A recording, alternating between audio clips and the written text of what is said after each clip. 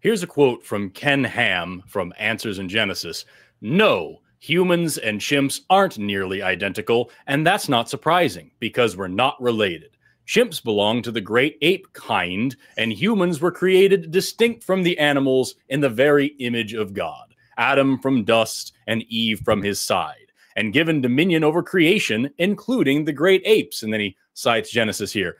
That is a whole big basket of things that don't make any sense. First of all, kind isn't a kind of classification.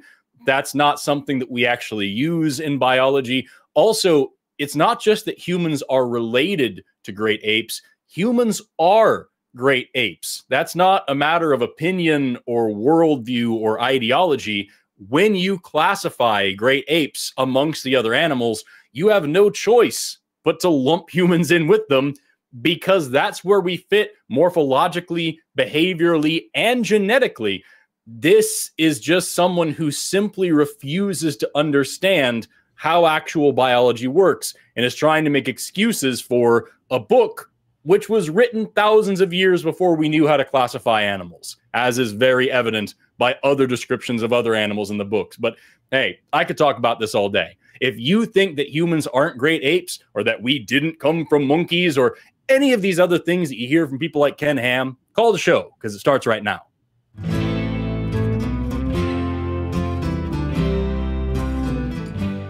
Hello, hello. My name is Forrest Valkai, and welcome to the Atheist Experience. Uh, today is October 22nd, uh, and I'm joined today by the lovely Jay Mike. How are you doing today, my friend? I'm good, but I'm a little puzzled. I don't like. I don't know how there could be still British people if you know, like, if like, if yeah, if Americans came from the British, yeah, then how are they still British? Yeah, exactly. Yeah, yeah I'm very. It doesn't make any sense. this this this whole American Revolution thing just doesn't stack up. Uh, listen, man, we we've got a great show for everybody today. I'm really really excited to get started. Um, the lines are already filling up, but we still have plenty more you know open spots, especially if you're a theist or if you're a creationist, if you want to call in and talk to some people about these things, here's your chance to do so. Go ahead and give a call. The number's right there on the bottom of the screen. But before we get started, we have a couple of announcements and a couple of things that we have to tell you. The first thing that I have to tell you is that the uh, atheist, uh, sorry, the Atheist Experience is a product of the atheist community of Austin, which is a 501c3 nonprofit organization dedicated to the promotion of atheism, critical thinking, secular humanism, and the separation of religion and government. That's number one. Number two is we got to go through the question of the week. We do this awesome new thing now where we'll ask you a question, we'll talk a little bit about it. You can answer answer the question in the comments, and there's a good chance we might just read your comment here on the air. Last week's uh, uh, question was let's see here. Oh, a share your experience type thing. That's what it was. We said wrong answers only. Uh, God said uh, God sends natural disasters because He's mad about blank. That was what we asked last week, and we got three different answers. The first one is uh, God causes natural disasters because He's pissed that Firefly only had one season. You know what? That's that's justifiable. That's reasonable. I'm I'm finally on God's side. Um, the second answer we got was God sends natural disasters because you touch yourself at night. Again, truth. We all know what you're doing, Tom. Uh, and then fine, can you? There's one guy watching this named Tom who's pooping his pants right now, and maybe he's into that. We don't have shame here. Um, and uh, then finally, number one is God sends natural disasters because we he went on the Maury show and found out that he was not the father, and that is his way to celebrate. Loving that. Uh, uh this week's question of the week, wrong answer is only what's the real definition of the soul? That's what we're asking this week. So leave your comments down below. Tell us what the real definition, or I guess the not real definition of a soul is. And maybe one of the hosts will read your comment next week. Uh, J Mike, do you have a, a, a, something for that? The real definition of the soul? Uh, yeah. Uh, well, I think the concept that's being tracked is I feel ways about stuff, and so I'm going to put it in this box over here and call it, label it soul. Yeah, yeah, so exactly, that's, exactly. That's, that's that's the real definition, uh, at least to me. I love that. I love that. Um, we've got uh, a bunch of callers lined up, and we it's a short show, and I am notorious for running late on this show, so I'm going to try to not do that and instead just jump straight into calls. Is that cool with you? Let's do it. Sick. Okay, so looking through here, I'm going to go first with Ben in Utah. Pronouns are he, him, who claims that he has seen miracles happen. Ben, you are on the Atheist Experience. How are you doing? I'm doing good. How are you? I'm really, really good. So tell me about these miracles that you've seen and how do you know that they're miracles? Well, let's start off. What is a miracle? Can you tell me what a miracle is? By my definition, it would be something that necessarily defies the the natural order, so to speak, something that goes against our understanding of physical reality, something that defies the laws of physics, the laws of chemistry, the laws of science, whatever, um, in the specific benefit of a person or persons, specifically. Is that something that uh, you know a, a supernatural being does through supernatural means that has no possible logical explanation? Not that it doesn't have an explanation, but that it has no possible naturalistic explanation. That's what I would say. But maybe you're using a different definition from me. So what, what would you say that a, a miracle is? I say that pretty much explains it, you know? Cool. Perfect. So what miracles have you seen? And how do you know that they were miracles? Well, uh, I was in church once, and there was this family, they were struggling because the mother and father had a divorce. So the kids, one of them was my age. He was, his name was Colton, and he didn't know whether to keep coming to church or not. So in our church, we do this thing called fasting. It's where we pray and we don't eat because right. we want to show that we are devoted to this. So what I did was I fasted and prayed that she would feel comfortable and around like her family and the son will, you know, like start to come back to the church, you know? And the very next week, he started to come back to church and he came more often, he came to the activities, he came to like you know just started attending more, and to me that felt amazing, and I just just felt good, you know. Is that your miracle that you prayed and fasted, and then this person came back to church? Yeah, I don't so, pretty much don't before. So really quickly, just I, am sorry, J Mac. I, I, I know you're good. I, am you're probably going to ask the same thing I'm asking, but first I just want to return to the definition that we gave a minute ago. You and I agreed that a miracle is something that cannot be explained by naturalistic means. Something that that is not that we don't have an explanation, is that we can't have a natural explanation. Explanation. It is something that is by definition supernatural in origin. We, we agreed on that, right? Yes, we did. So, can you really not think of any possible way that this person wouldn't just decide to come back to church by any natural means, by their own thinking, it has to be a supernatural thing for you. You you you can't think of any way that that could just happen by itself. Yeah, um, I mean, if I were to choose between dirt biking and coming to church, I'm pretty sure I'd go dirt biking. You know, but the fact sure. that he didn't come for come to church for like like a while, and then he just all of a sudden came back the moment I prayed about it, it's kind of weird, don't you think? No. no. Not at all. I mean, this is Not like even a little bit. Yeah. I mean, don't you agree? People um, can stray away from their faith, or they can um, maybe they don't care about these types of questions that much, and they went to church, and then they come eventually kind of go, you know what? Something happens in their life, right? I, I, do you really think that there couldn't be an explanation like something happened that you didn't have access to like something in their life and that got them to start questioning it more and just all it takes for them to do is maybe I should go to church. Let me just try this out. Right? That doesn't sound very supernatural to me. That sounds like somebody going through a process and then thinking that that's the solution potentially. Like that sounds like way more likely of an explanation than some kind of supernatural explanation. I mean, what do you think? I think that is I guess that is true. But like have you have you ever been to church before? Yes. Yeah. Yeah. I tried really hard in high school dating someone who was Christian and I went to church and I tried to be as respectful as I can. I was always the you know, the guy that was like, uh, he's not a Christian.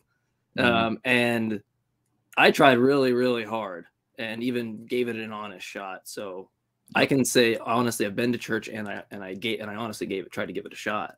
Yeah, there was even a time in my life where I wasn't I, I, wasn't like full as as atheist as outspoken as I am today, but I certainly wasn't religious by any means. But I thought that there was something to it, and that it might make me a better, more well-rounded person to go and listen to some stuff. And so, yeah, I, I definitely tried to start going to church after not having gone for over a decade, uh, and that certainly wasn't a miracle either. I just I looked into a little bit more. I decided it might be worth my time. I gave it a try for a few weeks. I found that it wasn't worth my time and I stopped doing it. Like so that's that's what we're trying to get at here is that this person maybe they he went home and his parents told him, "Hey, you really need to start going to church again." Maybe he had some social pressure from his friends or his community. It's if he's going to church in the first place, very likely he's got a religious family, maybe some religious friends, friends like you, who might have given him some social pressure, meaning to or not, that encouraged him to go and try church out again. Maybe he was feeling down and questioning his beliefs, and that made him pretty sad. And he wanted the feeling that he had before then. And so he went and tried church again. Maybe he saw a YouTube video or some influencer on TikTok that was Christian that said something that, that, that resonated with him and he tried again. Maybe he was bored and decided he'd do something more interesting today and go to church. There's a million and one reasons why somebody might not go to church for a while and then start going again. And what you're proposing here is that none of those reasons matter or are even really possible. The most likely explanation is divine intervention. Um, and that to me seems like a really, really big leap. Like that's that's a pretty big logical stretch. Um, I don't know if you're familiar, but there's a, a philosopher named David Hume who famously said, like, there's two options here. Either the laws of the universe have been suspended in my favor. Something miraculous and supernatural has happened with me and my community in mind, or I made a mistake. You're the star maybe, player for it. Yeah, may, maybe I just didn't actually know what was going on, and I was just under a misapprehension about it. You know, what's really more likely? Did something happen that you're not aware of in this person's life? Or did the clouds part and a ray of sunshine come down and Jesus Christ told this kid to come back to, you know what I mean? Like, what's actually more reasonable yeah. and more likely? Okay. Um, I just want to talk about one more thing real quick. Sure. About, uh, like, you're atheist. You believe in, like, math and science, right? Or is that just a stereotype? Gra- grass and science? He's in math. Oh. Uh, yeah. So, like, you I want to be clear. It, it, it is somewhat of a stereotype, but it's not a bad one. Uh, you believe in math and science too. I hope. Otherwise, you would you know the phone that you're using to call us right now wouldn't be working without math and science. Uh, the definition of atheism is simply that we don't believe that a god is real, that there's there's any such thing. Um, there are some atheists who are conspiracy theorists who don't believe in uh, various parts of science. There are some atheists that are Democrats and Republicans and and and who are smart and who are dumb and who are the, the whole definition of atheism is just that we don't believe that there's such a thing as a god. And there's Michael, lots and lots of people fall into that. As Michael for Huemer is a an atheist and a, a, like a professor at a at a college, and he yes. believes that a soul exists, right? Yeah. There's, you know, I mean, exactly. So like, it, they, it doesn't. It's not exclusive. It just tells you one yeah. thing as as far as Mike and I are concerned, you can probably fit whatever stereotype you like because we are pretty outspoken the uh, atheists. Uh, Mike yeah. studies philosophy, I study biology, and so like that is the where we're coming from when, when we talk about when we do shows like these. Sorry, I know that was probably a bit of a long-winded answer for what you were asking. I just want to make sure that we're all on the same page about it, and you don't, you know, think think anything weird of us. Oh yeah, yeah, no, totally. But for math, math, like, can did we ever discover math, or was it there before? Like, going back to math, the definition math is something like a how like the patterns of numbers and all that. Yeah, yeah. Like, do you think so, it was in our head, or you know, like already? That, that's actually that is actually a debate within the mathematics community among amongst math scholars is whether math is invented or discovered. Um, uh, as for me, I'm one of those that says it's discovered. Uh, that you we can say we invent a new field of math, like we we invent new ways of doing mathematics. But at the end of the day, the planets speak math. Your circulatory system speaks math. Like the the the, the world around you, the universe at large, speaks math and we use mathematics in order to understand the universe. So, for example, you think back to um, you know uh, Johannes Kepler there was this uh, guy yeah. named Kepler, and he, you know, plots out the motion of planets. He comes up with Kepler's laws of, of orbital dynamics of, of how planets orbit. He finds out that or, or, the orbit of planets aren't perfect circles like Copernicus thought. They're actually ellipses, and they they go around these focal yeah. points. And he comes up with all these, but nobody knows how that happens. Nobody knows what that's all about. And so a little while later, somebody brings this the this data to this guy named Newton, and Isaac Newton's like, all right, I'll figure it out. Comes back after a month, he's like, yo, these aren't ov- ovals, these are conic sections, they're slices of a cone. And everyone's like, how'd you figure that out? And he's like, oh yeah, I invented integral and differential calculus. He discovered the the way that this works by inventing a new system of mathematics. So that's yeah, the the universe speaks math. Um, and what we're doing as scientists and mathematicians is just finding out how to speak that language. Where it's like the Rosetta Stone. We're learning how to speak this language that the universe speaks. Yeah. So another thing about math is like it has infinite information. If math has variables and like infinite amount of numbers, then it's like it has technically all the knowledge, you know? Like any math has already every single combination of every numbers, Well, which can no. be like decoded I- into every book, Wow. you know? I see where you're going with that. I uh J Mike, do you have a particular like I, I get the vibe of that.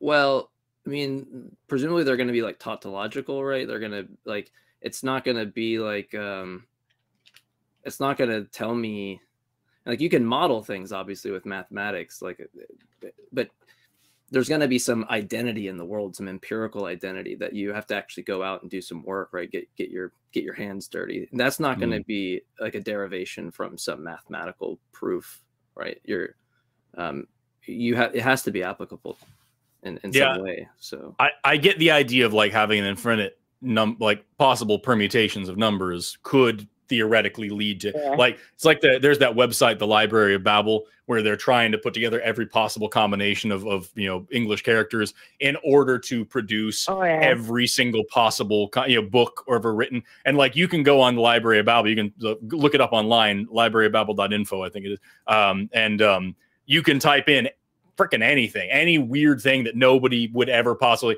and sure enough that's been written by this ai that's just cranking out every possible combination. So like in that way i can see what you're getting at but that is a like like j mike was alluded to that's that is a strictly theoretical thing. That's like pi you know what i mean? It, if you have an infinite stretch of numbers theoretically speaking any combination would be in it but that doesn't mean that you can learn anything by randomly coordinating numbers your whole life you know what i mean I guess yeah.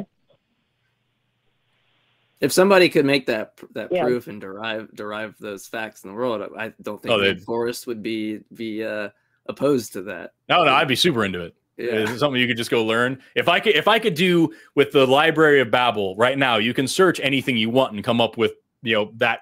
If you could type in a question and come up with the answer, that'd be pretty freaking sick. But such a thing does not exist That would be quite awesome. Yeah, I don't think Nor, there's gonna nor be. may it ever. Uh, yeah, we probably won't be able to do the the spiritual or moral, you know, algebra or so Yeah. to speak to know, you know, exactly did Jesus say this, you know, on the There's Sermon on the Mount So someday, so, yeah, I, I don't. I'm not not convinced that we may be able to use mathematics to figure out whether or not you should have another kid or what you should have for lunch that day or you know, where you should go to university. You know. Exactly, yeah. yeah. Did, did you have a particular thing you were driving at there, Ben, or did you were you just talking about math? Yeah, I actually do. Um, I'm gonna Okay. say one more thing. Uh, it's like, you know how math kind of like controls everything. I guess you know how like the the expressions and all that stuff. Like you know, it makes it shows how elliptical orbits work and all that stuff. So like, you know, math shows how everything works, right? Uh, it depends on if you're a determinist how far you would take that that statement. But I, uh, in the spirit of what you're saying, sure. Yeah. And So, so what what does that what does that mean then for us? Well, I just wanted to kind of compare that to God, actually. Crazy enough.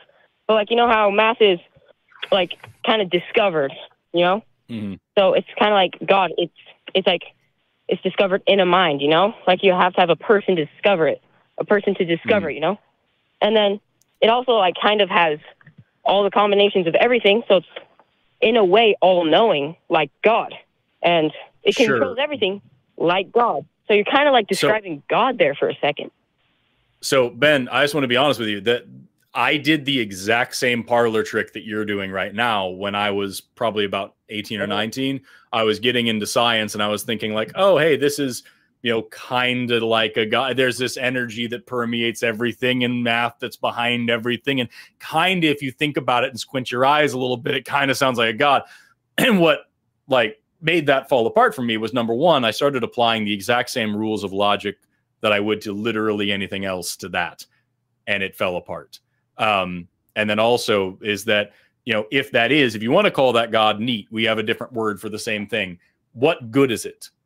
It it's not math is not you know granting wishes or answering prayers. Math is not something that we can see in our day to day life having an influence over us besides the applications that we use it for. Math doesn't get up and do anything. We have to use math to do a thing. And just yeah. because the universe follows certain patterns, math is the way that we describe and explain and understand those patterns.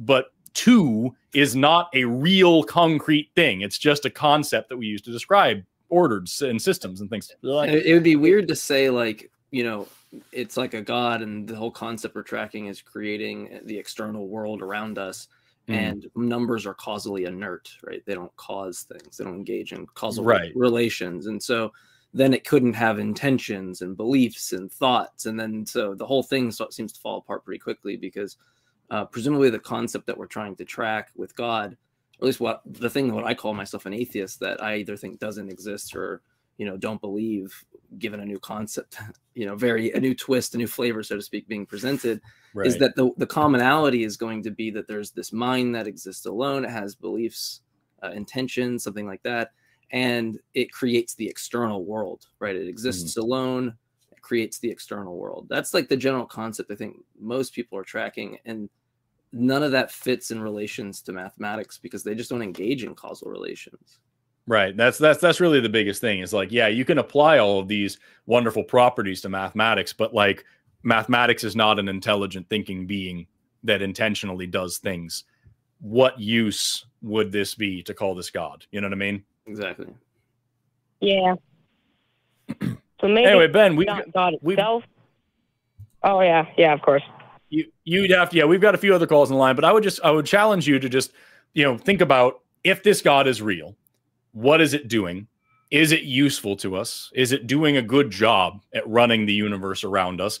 If you want to say math is the way that it does things, okay, sure. There's, you know, apologists have said crazier stuff. That's fine. But like, really, I would just challenge you to ask, you know, what do you actually believe in and why do you actually believe in it? And do you have a good reason for believing? Something that, like I said, the same, the same logical and moral principles that you would apply to anything else or do you make special exceptions and special rules and special distinctions for this god that you wouldn't apply anywhere else? And just it's easier to believe it that way. That's what i would challenge you to do. And if, if you want call back in again next time jay mike or i are on and we'll talk about it some more.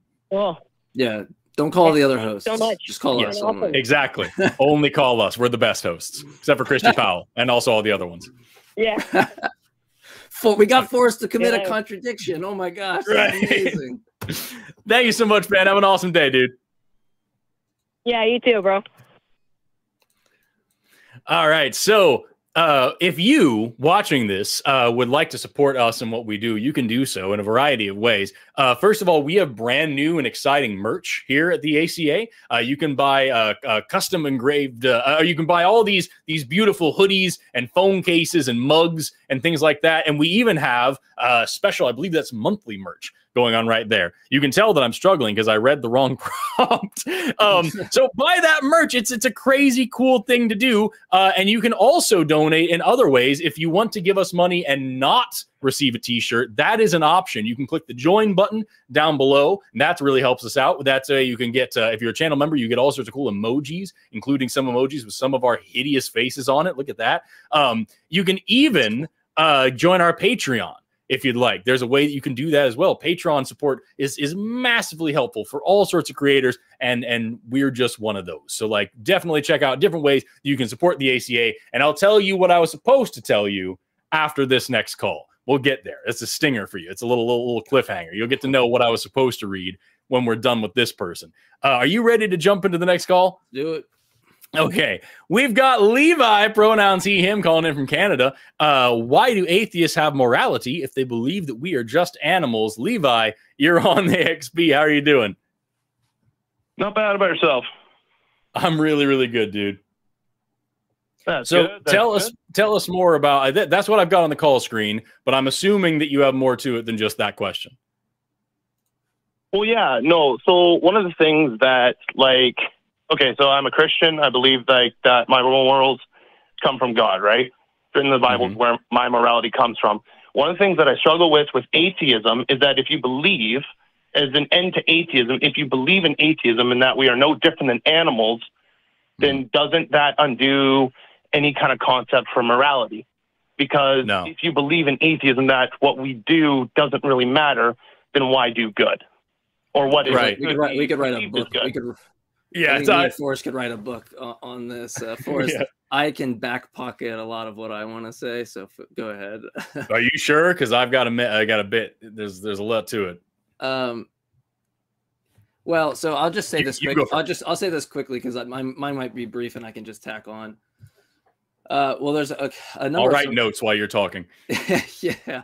Um, yeah, we gotta we gotta weed through this. There's a couple of a lot of assumptions you're making there. Like, atheism wouldn't entail subjective morality. Uh, like I don't hold to moral realism or objective morality, but I just want to kind of let you know that there's a section of the audience that's not being satisfied. People that would be atheists, and in conjunction with that, uh, have a position like moral realism that there are objective moral facts and duties or whatever. Um, and so atheism doesn't entail that there aren't objective facts, morals, and duties, and it doesn't entail moral naturalism. Uh, you, there are plenty of atheists out there. I mentioned actually one of them earlier who believes in like souls. They believe in like non-natural like value properties and stuff like that. Now, again, I don't hold these views. I can't argue for them, not views I hold. But it's important to distinguish that atheism doesn't entail uh, that someone has this view that we're, we're just animals and so there's no morality uh, they they could ha- they could have a robust view. You'd have to ask them. So that's I wanted to just start and lay, lay that out there that you're talking to two two people who I think we both agree on our meta ethical positions and Mhm. on our normative ethical positions. Uh, but um, you know that's just the side of there's atheists that won't be satisfied by that, and that's For sure, for sure. Yeah. Yeah, th- this is like we said in the last call. Atheism is just the position that there is no God. There are a lot of atheists out there that are going to disagree with everything we say. So, but like, if you're asking just J. Mike and I, um, Lord, do I have so much stuff to say about what you just Mm. said?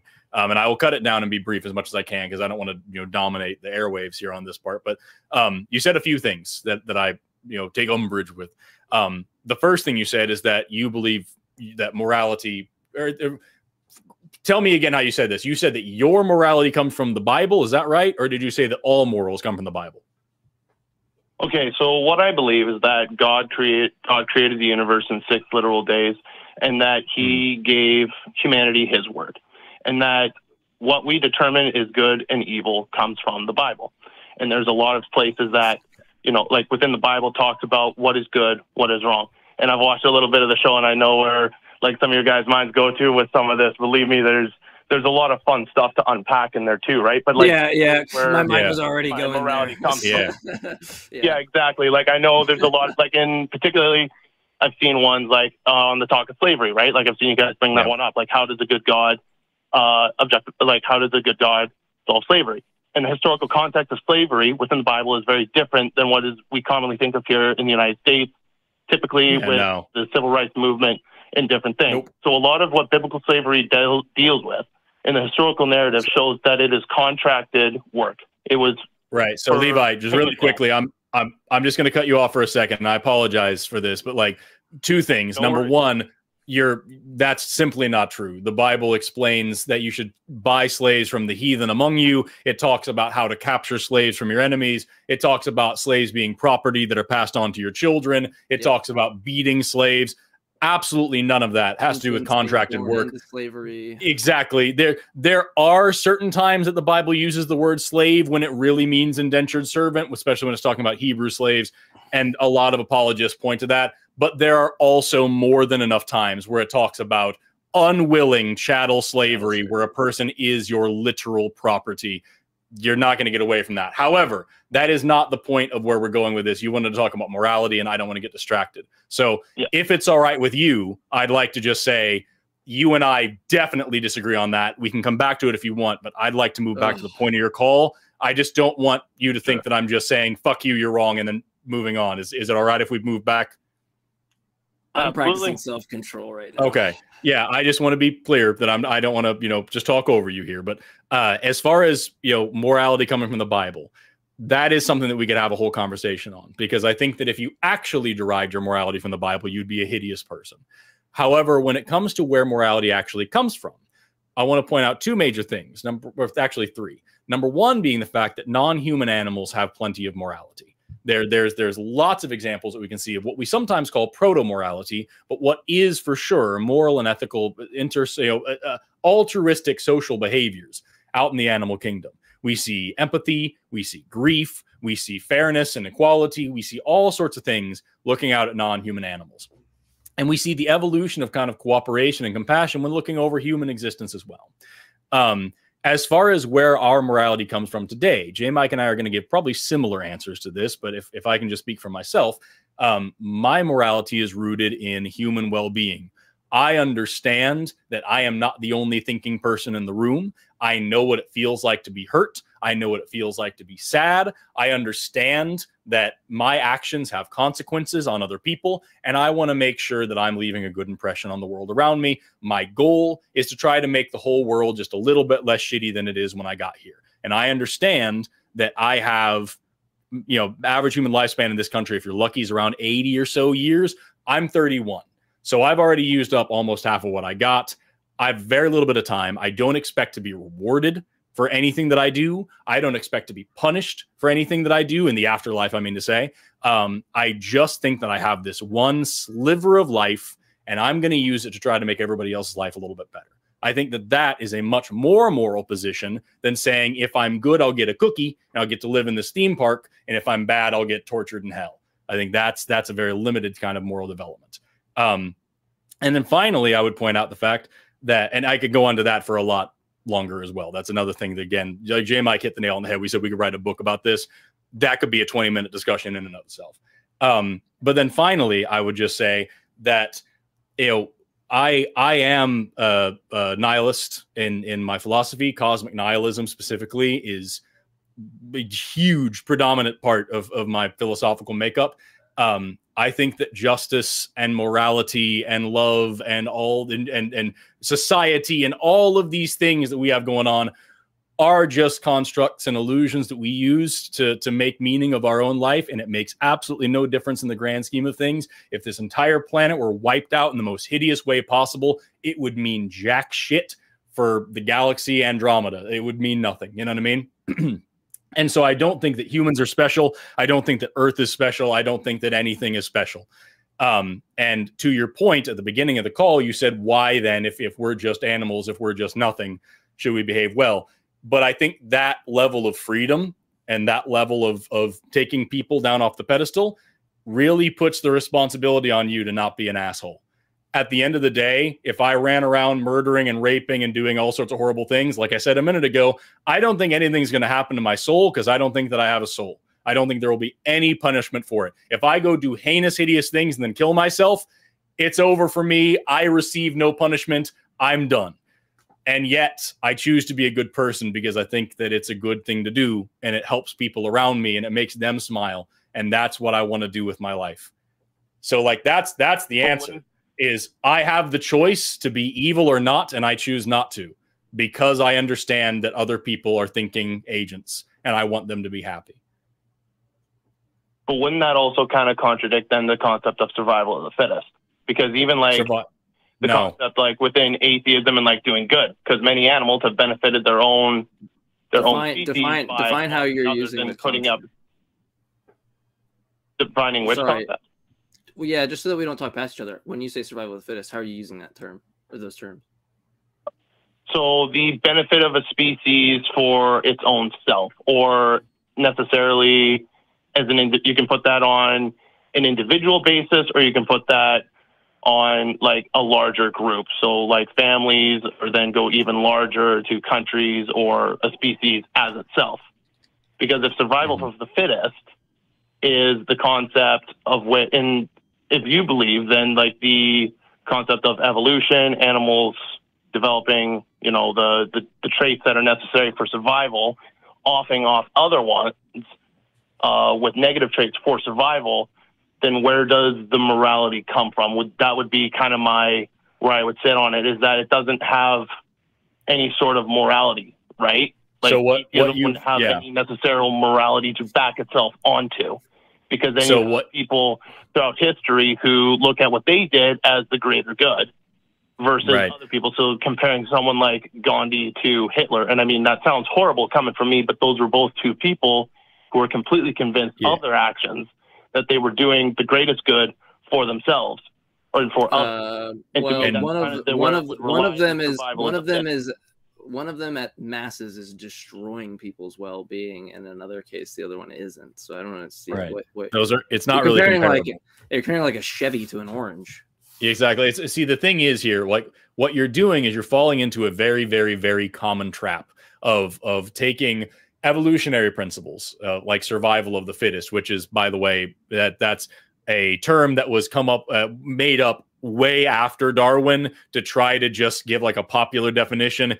It it's very largely misunderstood and it does more harm than good. Kind of like the Zallinger projection of like a monkey leveling up into a human evolution doesn't work like that and that kind of diagram sows more distrust and disinformation than actually what evolution actually teaches but anyway the the the whole concept of survival of the fittest therefore you know what's best for my country what's best for my my, my whatever like that that falls into what we call social darwinism which is bullshit um it's it's the idea that you know uh, uh, survival of the fittest. We we have to be the best species. We have to be the, the top species. We have to be the dominant species. And also therefore we should be the dominant country or we should be the dominant race and and shit like this. It, it's used to justify empiricism racism and, and generally shitty behavior. People like hitler strongly believed in social darwinist principles um, because social darwinism isn't real fucking science. Um, so what you've done here is you've fallen into a trap of saying, well, this works in nature, therefore I can apply these same very parochial rules to society and get something out of it, or to, to morality and get something out of it. And the two major issues with that is number one, it's a gross misunderstanding of what evolution actually is and how it actually works. Altruistic behavior actually is an evolutionary trait. You know, working together as a group actually does have some benefit. Giving selflessly actually does have evolutionary benefit. And there's different levels of that that are you know better suited for different environments.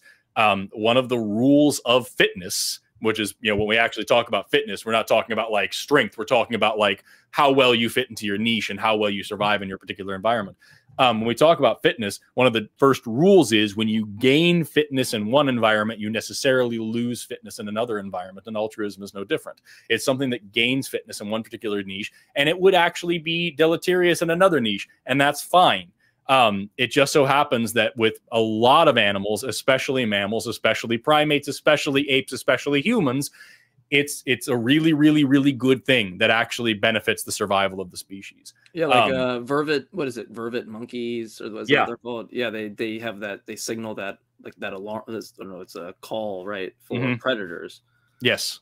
Vervet. So, like lots and lots of different uh, primate species have. This is actually one thing that we talk about when we study linguistics as well. Um, vervets and also Colobus monkeys, I think it is. Um, they have specific calls not only for what that that a predator is coming, but what kind of predator it is, and whether or not they saw it themselves or they heard it from that guy over there. Um, and like this kind of thing is beneficial for the entire troop it's beneficial for everybody to know there's a predator, not just this one, you know, primate because they live in a community together. And it, Um, and and so- it poses risk for sounding off. Yes, because then the predator's looking at you. Um, Exactly. same. You can talk about meerkats the same way. They you know they stand out on the edge of the hole. They're putting themselves at risk so that they can tell everybody else when something's going wrong. Um, so like, and there's a million and one other examples that I give you, both in the lab and in the field. But like, it's not really the point of the call.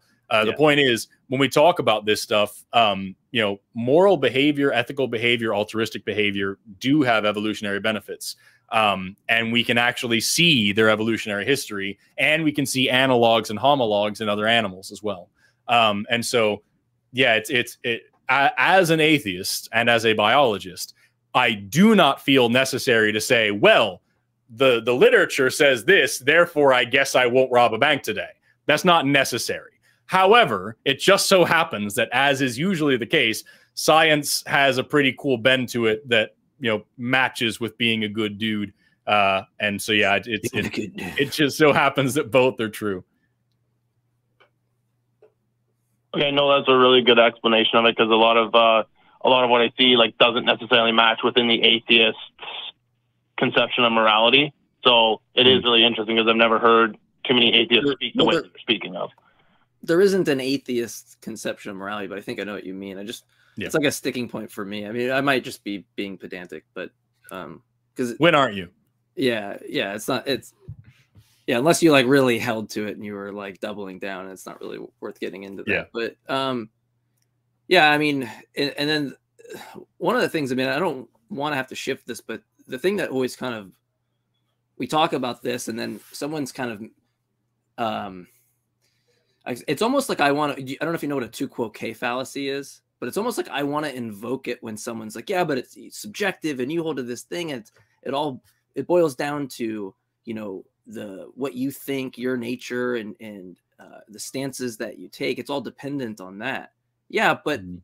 I always want to invoke this tu quoque, and I'm like, why is that a like? I'm going to take you down with me, right? Because like I'm going to do a what about you type of scenario because on the theist view, it's typically based on God's stances or his nature, and his nature's desires are reflective of his nature. And presumably there could be an entity with with yeah, there could be an entity if it just ends up bottoming out at his desires or stances, then it seems like a weird criticism to go, hey, the subjective, because then I'm I'm almost going, well, I'm going to take you down with me, so to speak, because you should have never made that criticism when it turns out that all of your moral facts bottom out at like whoever has the biggest stick, right? Well, like for us as Christians, like we're we believe that God is the creator of the universe and that he is the ultimate decider of what is good. And what we believe evil is is basically almost an well, it would be everything that he isn't. Right? It's not that he designed good and evil, it's just that he is good, everything that he is not is evil. And the Bible is Except a for the- reflection of himself. You- Except for in the Bible where he says that he creates all good and evil. Just Yeah. throwing that out Yeah, there. the- he did say Well, that as well. Okay, I'm kind of confused. You're saying he's Which good. verse? Like, what what what would you expect? Like, what would be your? Uh, let's just like intuition pump here. Okay, like what would you expect if you saw somebody I don't know doing some hor- horrible like you know, um, like you know essaying somebody. I'm gonna try not to trigger anybody with with words that maybe that might be Yeah. triggering for them. So we'll just say essaying somebody, and you go and you you you uh well let's let's not use you either let's just say there's a bystander watching it right and Yeah. they could stop it they have the ability to stop it um they're uh they could impede on that person's actions and, and prevent them from doing such an action do you think that what's expected of that person the good action what their obligation is is that they should stop that person essaying the other person Yes. And now this Okay. is where the fun part begins because this is also something like within the church that we recognize coming from your guys' perspective view, and I want to be respectful of your guys' uh, perspective of view either. So the argument would be then, if God is good, why doesn't He prevent all bad from happening? That would be your guys' Well, sticking no, point no. to Well, the, no, no, no. I'm not asking why doesn't he a good do God. it.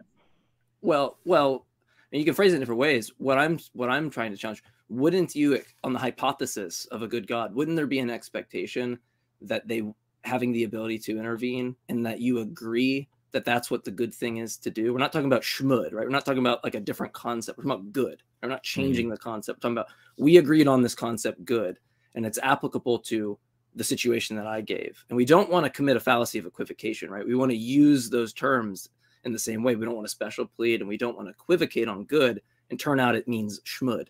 So if under the Right. hypothesis that there's a being uh, that has the ability to stop it, wouldn't you expect them to? And if there is just, you know, infinite, well, infinite, sorry, innumerable, my bad. We can actually count them. Uh, but at such a high degree of these instances, wouldn't the expectation on the hypothesis of such a being not existing, right? Wouldn't you expect such a being to intervene, lest lest we equivocate on the term good? it would depend on if you believe if man has free will or not. If you believe that man does not have free will, then yes. So If you're just believe saying all things, is a moral like all say all things considered, it's better for there to be free wills, so long as like evils, e- evils occur, so long as we have free will. I mean, all you're saying is that there's context specific such that it's best for God to have the world where uh, these things occur, right? I'm also curious. Like, doesn't does Satan have free will? I would say yes, because what we and, and know uh, also hold on. I'm sorry. In the Bible, if Satan, yeah, go ahead. If Satan has free will, Satan also knows for sure that God exists. So God absolutely has no excuse not to show up to all of us and say, "Hey, yo, I exist," because Satan absolutely knows he exists and still chose to rebel against him. So there's an issue. And also, Satan still does bad things and God stops him. God stops Satan from doing bad things. That's the whole point of Revelation. Is, is, is, and so, like, you know, God could still reveal himself to us, make it perfectly known that he exists, and not leave it up to faith, and could still stop bad things from happening, and we would still have free will. Satan is proof of that. Well, it depends on what your view is of like when you go into the design and the purpose of humanity, right? When you look into it, the Bible says that God created Adam and Eve and that they were in the garden perfect created beings. Oh my right? gosh. And they did enjoy the fellowship with God in the in, in the garden. And when they sinned, they rebelled because God. The reason that we are separated from God is not because well, is because that we sin. We do things that are wrong, right?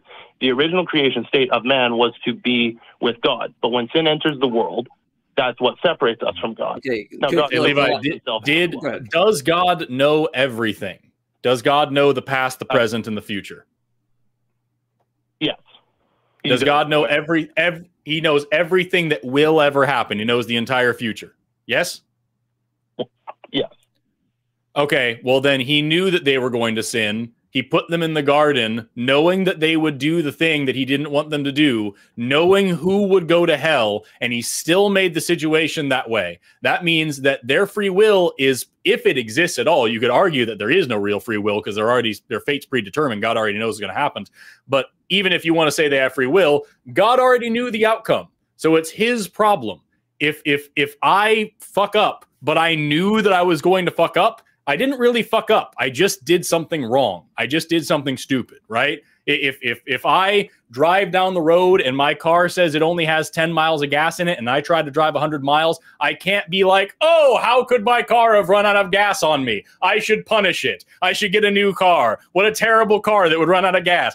I knew that was going to happen. I had the gas, the, the, you know, the gas gauge right there. I knew that was a problem. That's my fault, not the car's fault. So if God already knows the future, he can't be mad at us for doing the things that he knew we were going to do and had every opportunity to intervene with without taking away our free will, as I just addressed a second ago. That's all 100% on him.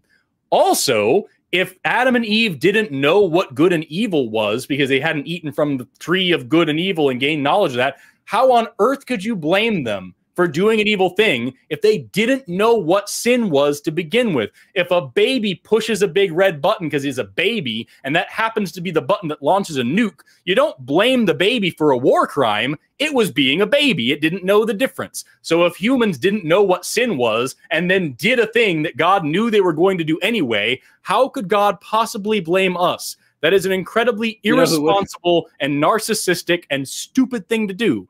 So, like, I'm sorry, you can't sit here and tell me that we have to preserve free will and allow terrible things to happen in the world because the thing that God already knew was going to happen happened and he did nothing to stop it. That's his problem, not our problem.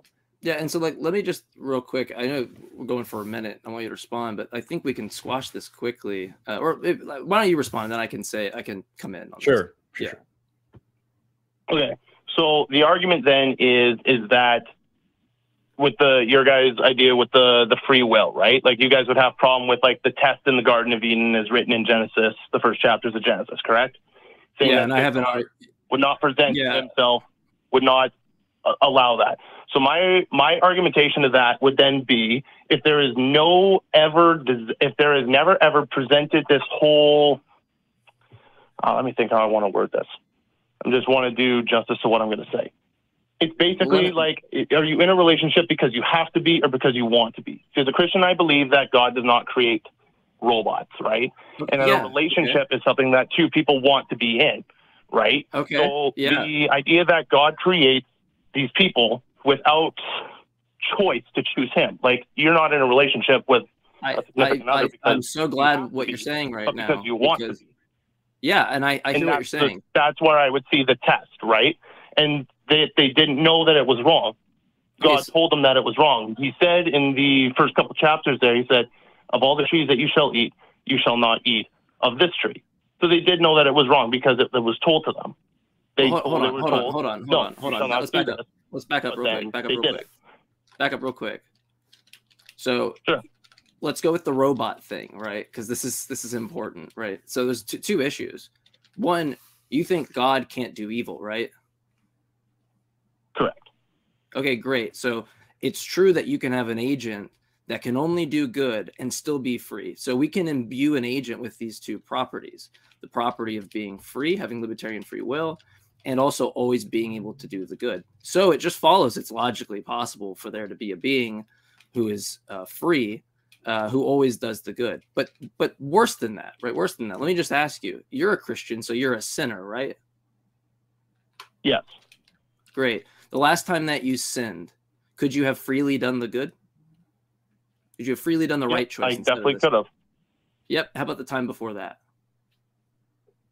Yep. No, there's like when we sin, we do choose to sin. Every every right? every single yeah. choice. So I yeah for every single time, every single uh, sin, you had the free choice to do good. You just ended up freely choosing evil, right? Yes. Okay, great. So now it follows that forever for each agent, for each deliberation that they have, it's logically possible that each one of them freely do good, right? It is possible. Well, okay. And it, It's it logic- uh, okay, yeah. How do I want to? is it lo- is is it logically possible, right? For each because it falls out for free. For each deliberation, you had the free choice to do good. So there is a possible world where everybody just does the good, right? Freely. It might be improbable, like you know Kobe Bryant making every basketball shot or every NBA NBA player making every you know shot they've ever made, but it's logically possible, right? I'd say that it's logically possible that in every situation, but I, it doesn't happen, right? Like, Okay, great, but Because, great, but again, God, God is a God is a within the being. Bible Hold on, hold on, hold on, hold on, hold on, in hold all people. Levi, you're gonna need- have to listen. I just need the I just need the yes. I don't need anything other than that. God is a being that can that can instantiate any logically possible state of affairs, right? Sorry, repeat the question. God is a being that can instantiate any logically possible state of affairs, right? Yes. Great. So it's a logically po- so we have premises, the argument. We have first premise that uh, a, log- a logically possible world is a world where every agent could do evil, but they all end up freely doing good. Mhm. We got a second premise, which is God is a being that can instantiate any logically possible state of affairs. And so now we have a conclusion. Uh, God could instantiate a logically possible world where every single person freely does good. There is evil, therefore that God does not exist. Right? He either desires that world with evil for a reason and then it just makes it good because for whatever reason evil's required in the world it's a good thing it's what should be done for whatever reason or he does desire that we freely come to him. That world was available to him. And he Mhm. didn't he didn't he failed in respect to his intentions. Infallible beings can't fail with respect to their intentions. Omnipotent beings can't fail with respect to their intentions. And so we can just derive an argument that it doesn't exist or it desires evil in the world. That's the only way out of the argument presumably. But To me, I would look at it more on the angle of something like along the lines of like a parent giving their child a test, an opportunity to to do good or to do wrong, right? And Every, like everybody freely does good in that child. situation everybody does freely it, look he he has the file cabinet of every single and we are running up on the call so we'll have to end it soon Yeah.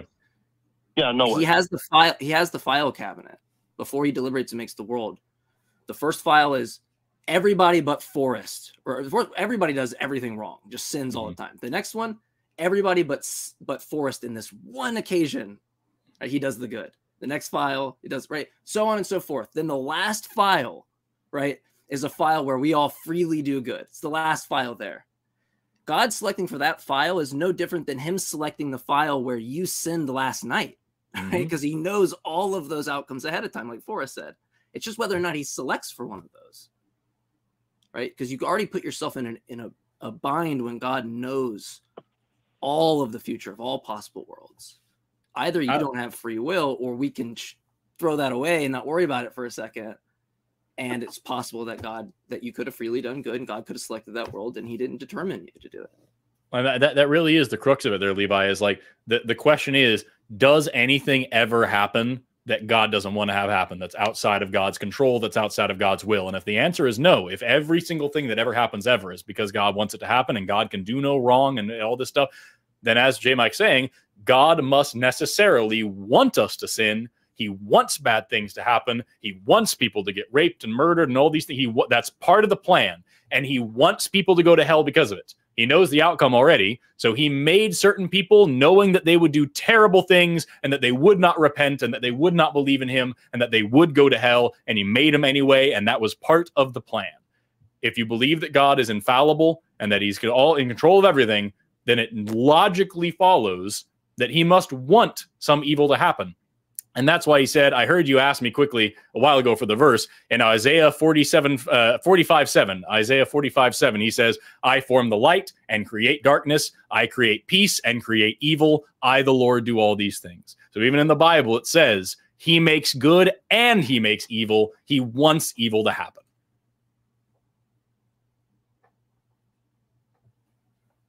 I'd have to go to that verse because, again, like, yeah. And I mean, I know that's a bit of a, a bit of a cop out. I'm not super familiar with the passage, but no, I do appreciate that challenge. whether whether or not that's what the verse says, the logic still stands. What J Mike said is a completely like solid thing.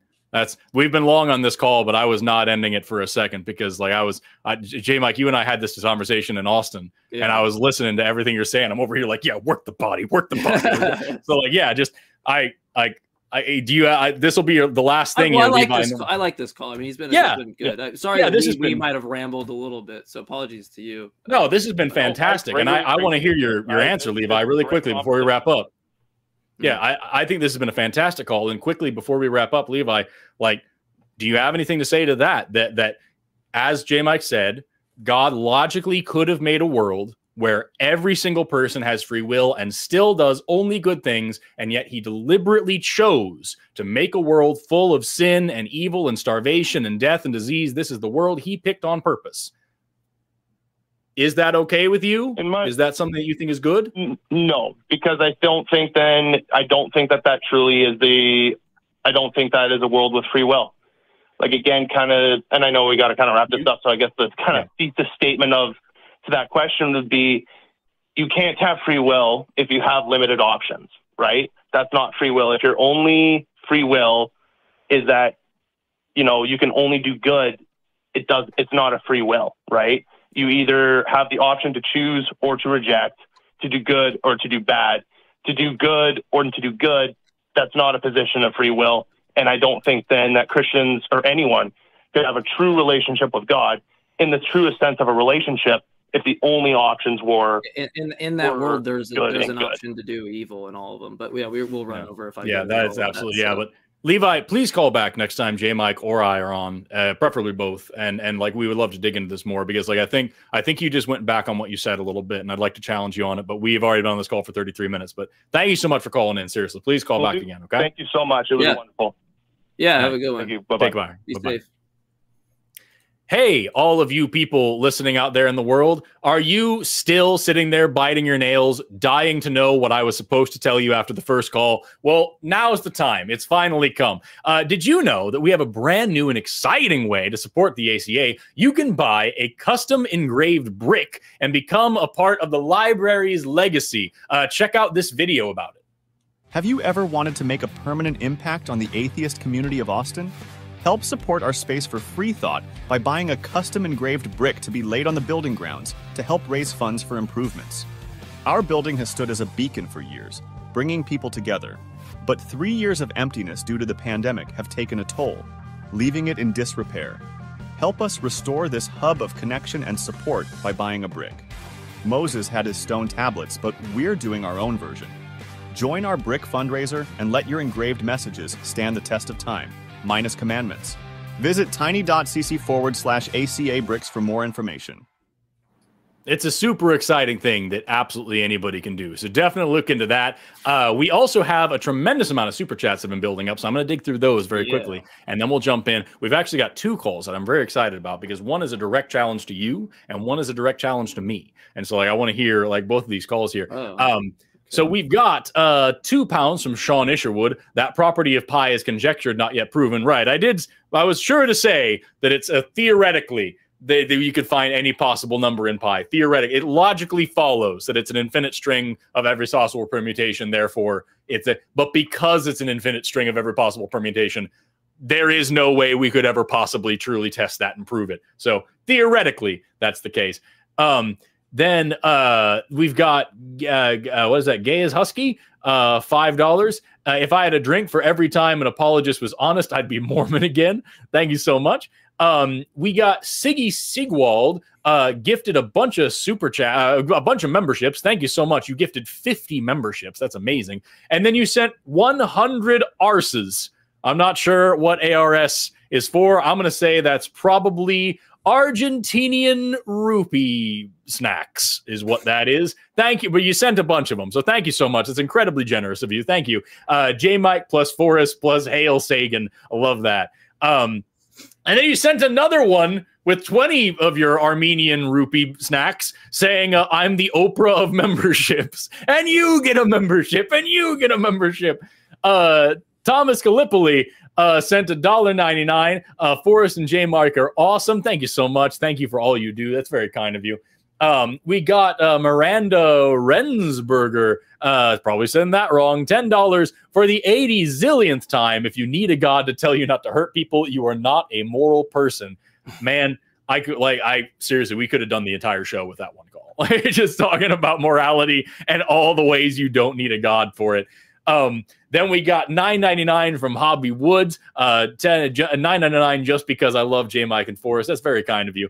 Um, Halo Master 20 uh, 1243 sent uh, 50 Canadian dollars. Uh, are they even dollars? Uh, I'm so glad that I found this channel and I'm so thankful for the good you do in the world. Uh, you said that you shouldn't go over time, but the more I get to see uh, you, the more I actually found what oh, sorry I shouldn't go over time, but the more I see, get to see you, the better I actually. The more I get to see you, the better. This man used no punctuation. The more I get to see you, the better. I actually found Forrest first, then this channel. Also, always great to see J Mike, a little happy guy there. Thank you so much. I appreciate that.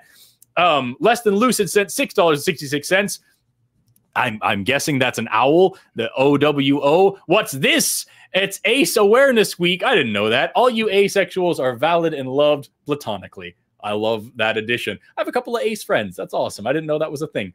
Uh, Thomas Gallipoli sent another 499. Caller, what version? Pro tip: If your book says version, then it's not a world a word for word translation. It's an interpretation specifically to fit an agenda. If seriously, this says that this book is absolutely true, or at least this version of it is.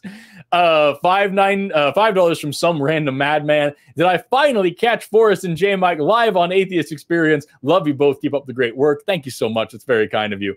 Um, and then finally, we just got 9.99 from P Power. Uh, hi, Forrest. Forrest Valkai Nation, rise up, man. I don't want a nation. Uh, it's a strange. It's a strange situation. Although when I rise to power, uh, uh, we're destroying Mercury first. Um, so we've got a bunch of other calls here that we got to get through. And as I said at the beginning of all that, um, we have two in particular that I want to run through. And if the show may run a little bit over because of it, we'll try to keep in tight. Um, we have one that's a direct uh, challenge to you, and one's a direct challenge to me. I'm going to start with the direct challenge for you. Um, this is Rick pronouns he, him from Canada, wants to address J. Mike's assertion that J- Jesus was a failed apocalyptic preacher. Here we go. Rick, you are on AXP. How are you doing? Hey, I'm great. How are you guys doing? Awesome. Doing good. How you doing, Rick? I'll just sit over here. Yeah, no, I, I yeah, so I hear you talk a lot, J. Mike, that you think Jesus is a failed apocalyptic preacher and it's based on the two verses from the Gospels, correct? We got Luke 9 27, Matthew 16 28, and Mark 9 1, right? Uh, some uh, there which are not tasted death. That's, well, it's not inaccurate to, to list, yeah, to list uh, Mark 9 1 or Luke 9 27. Uh, but uh, that's not all that I use. Um, it's a Okay. Well, can we address Yeah. those two first then? yeah, yeah. Okay. So where he says uh, in the um, he says some standing here will shall not taste of death until they see the Son of Man coming into His kingdom. Right. So throughout the Gospels, uh, Jesus is constantly stating Well, um, that, that you don't die. Right. Sorry. The verse is truly, I tell you, that Coming into into the not- kingdom. Yeah. The tr- well, but in Yeah. in power, it matters because part of my argument is in Luke. I think it's nine twenty seven. Part of my argument, well, it's not really my argument, but part of the argument is um, the in power is gone in Luke's, and that's a very significant piece of my argument.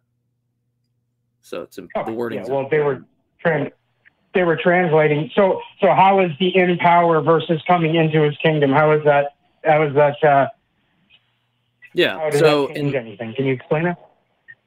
Yeah, because in Mark's gospel, Mark is seeing Jesus as um, fulfilling a role. So, like in there's a lot here. So, in what's called the intertestamental period, um, the between before the the I guess Pauline epistles and the last books of the Jewish Bibles or Jewish Bible would um, you had Jews being at this point um, they were oppressed by the Assyrians, the Babylonians, the Ptolemies, Socratic kings, Persians, Romans, Greeks, right? Um, and so there's this kind of this notion of like, you know, we've been getting our ass kicked.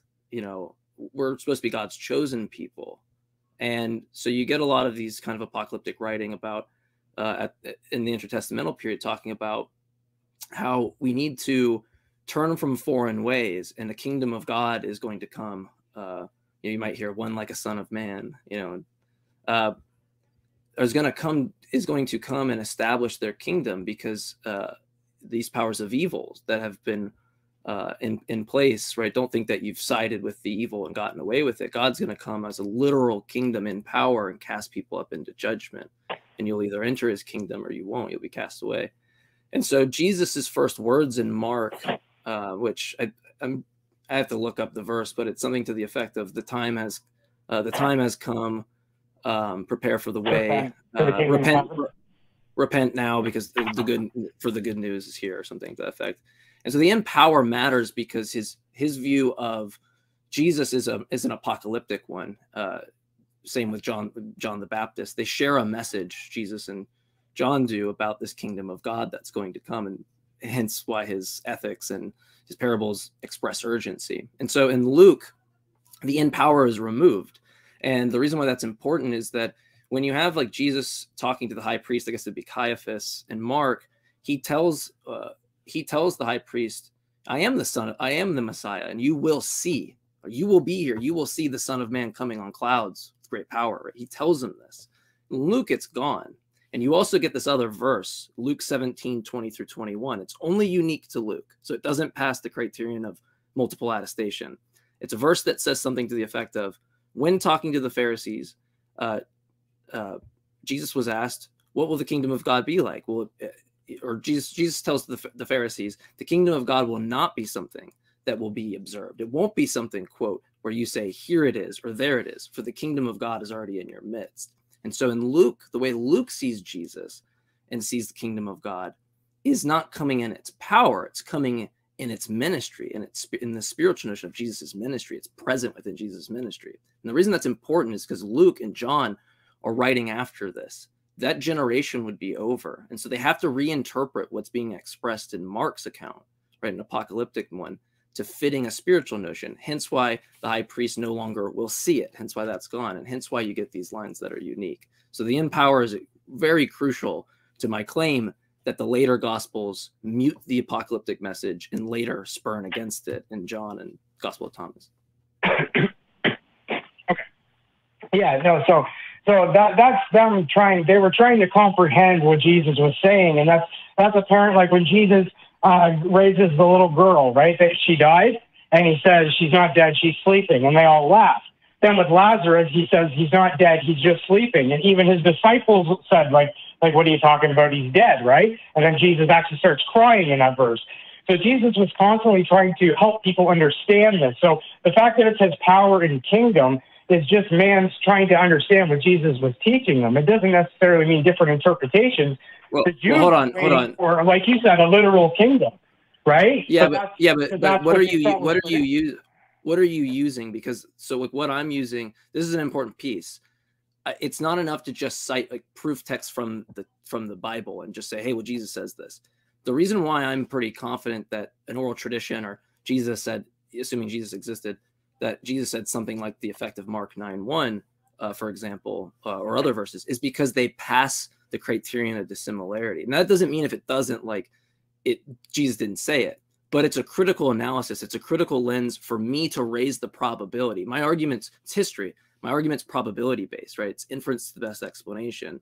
And so I, when you cite those verses, are you running it through an abductive filter like the criterion of dissimilarity? Because if not, it won't. From my, I'll just be honest. From my vantage point, I won't feel like any damage. This is the common theme I get when I run this argument no damage seems to be done my way because people will just cite these red lettering and i don't agree that jesus said like majority of that right? So we have to employ uh, independent attestation or contextual credibility um, or criterion of uh, uh, dissimilarity.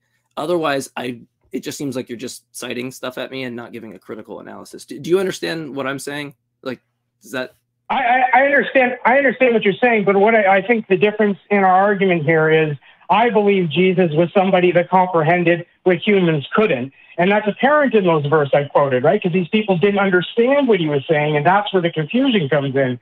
Whereas uh, you don't believe Jesus knew anything other than what humanity knew, right? But if you look at the red letter gospels, whether you believe it's true or not, whatever the story is telling, Jesus was claiming things that they couldn't comprehend to the point he even started crying about yeah, it. but how do you but how do you know which red lettering Jesus how do you know which red lettering Jesus likely said as opposed to uh text that comes from people putting words on the lips of Jesus? That's the whole point, What- right? That's what that's How the do whole you know which ones he didn't say? Right? I could throw that right back at that- you, right? yeah, You're you're making an no, assumption no, no, no, that, no, no, no, no. I'm glad you asked that. That's that's yeah. I would hope that you would ask that. That's what I'm saying, right? I have a critical lens that I'm applying. I can't. It's a self-imposed criteria that scholars use, right? I'm not saying it's like there's this floating thing we have to use this and I grabbed it. It's self-imposed, but we have to have a critical analysis. We have to get off the ground in some way. And yes, the Luke, right? Luke 17, 20 through 21 what that verse I told you about saying that the kingdom of God is not going to be observable. It won't be a literal kingdom of God, a literal judgment. Right? That verse is important. That that's only unique to Luke because it doesn't get independent attestation. That's one mark. It doesn't pass a criterion of dissimilarity. It's precisely a theological. Uh, it's it it's precisely what you would expect to be stressed as a theological point or reinterpretation. It's like one of the most clear-cut things that you could use from from my view. And so that me discarding those is not saying Jesus didn't say that. It's that it I can raise the probability that it's more likely that that people are attributing sayings to Jesus that he never did for theological reasons because they took stock in the fact that Jesus said that the the, the kingdom of God would come in their generation. Paul himself in First Thessalonians 4, 4 14 through 18 himself says we are going to be taken up he thinks it's going to happen in his lifetime jesus starts his ministry out with john the baptist who's apocalyptic. The end of his ministry is apo- uh, has apocalyptic people like uh, paul writing about it believing in that. And then the keys to the beginning of his ministry and the end of his ministry fits really nice when you apply this criteria or criterion um, and apply, apply dissimilarity to it or independent attestation because at that point you can weed in and weed out what's most likely goes back to that oral tradition and that's what that's the project i'm interested in i'm not interested in a regressive research project Okay, so so that that being said, right? You quoted so Paul said that, which if, if we want to read it, I, I think it's more likely that Paul understood what Jesus was saying because he almost quotes him verbatim. So how did Paul get those words if the gospel didn't exist? How did Paul know that Jesus said such a thing if the gospel Because- didn't exist? yes right? Is- because okay that's that's my point exactly right the whole point that i'm saying is right to sum up the argument in a really easy way the beginning of his ministry starts out apocalyptically because he's uh, He's uh, he could have started with the fourth philosophy, the Pharisees, the Sadducees, but no, he has a, a, a common message aligned with John. If you read the Acts, right, laid firmly at the root of the tree, as, as John says, um, he's a, clearly apocalyptic. He aligns that message. The end of his ministry, believers also have that same belief. So Paul, it's no surprise Paul persecuting Christians would come to such a view of Christianity. I mean, in order for him to become a Christian, he has to know something about it, right? Or well, Christianity. For him to come to a believing Jesus is his savior, died and resurrected, right? Whatever Paul's beliefs are, right? That he had such an experience. That's not that that's not just coming out of thin air or from his you know experience that he has. It's coming from uh, his interaction with Christians. And so that fits my argument. Early Christians had an apocalyptic message, like Paul, hence why Paul believes that. And later uh, believers, right, since that that it wasn't fulfilled, had to reinterpret that message as a spiritual notion. And that's why when I get on TikTok and do lives, there's still the Christian that rolls into the room and says, "Repent now, Jesus is coming any day." They and I realized this earlier today actually. Christians are a lot like their Jesus in one special sense that he was wrong about the kingdom of God coming in his generation, and every Christian after has been wrong about it. So, but but Jesus uh, Jesus gave, and like in the next verse, uh, Matthew twenty four, Jesus gives a specific criteria of what will happen in that generation, right? So he's laid out what's going to happen. How people interpret it is irrelevant. Jesus knew yeah. something that we didn't know, and repent for the kingdom of, uh, of heaven is at hand. I mean, this is God talking to us, right? What is time to God? And Jesus says that. He tells lots of verses to be ready. If you know the hour, you're not going to be ready, right? He has a whole parable about that, right? About the man in his house. And it's constantly saying, be prepared. You never know when it's coming, right? So to tell them that the kingdom of heaven is at hand is so that they wouldn't start slacking, that they would continue on the mission, on the goal, okay, what, looking forward to Jesus what, coming back. What crit? Okay, so I will have to say we'll, we'll move on soon. I want to have Forrest engage. I don't feel like you're really like I appreciate you calling. I don't feel like you're applying any actual objection. You're just giving conjecture on what you think could is it an alternative hypothesis or explanation. That's fine. I expect that. I expect that people are going to come up and disagree and have a different view.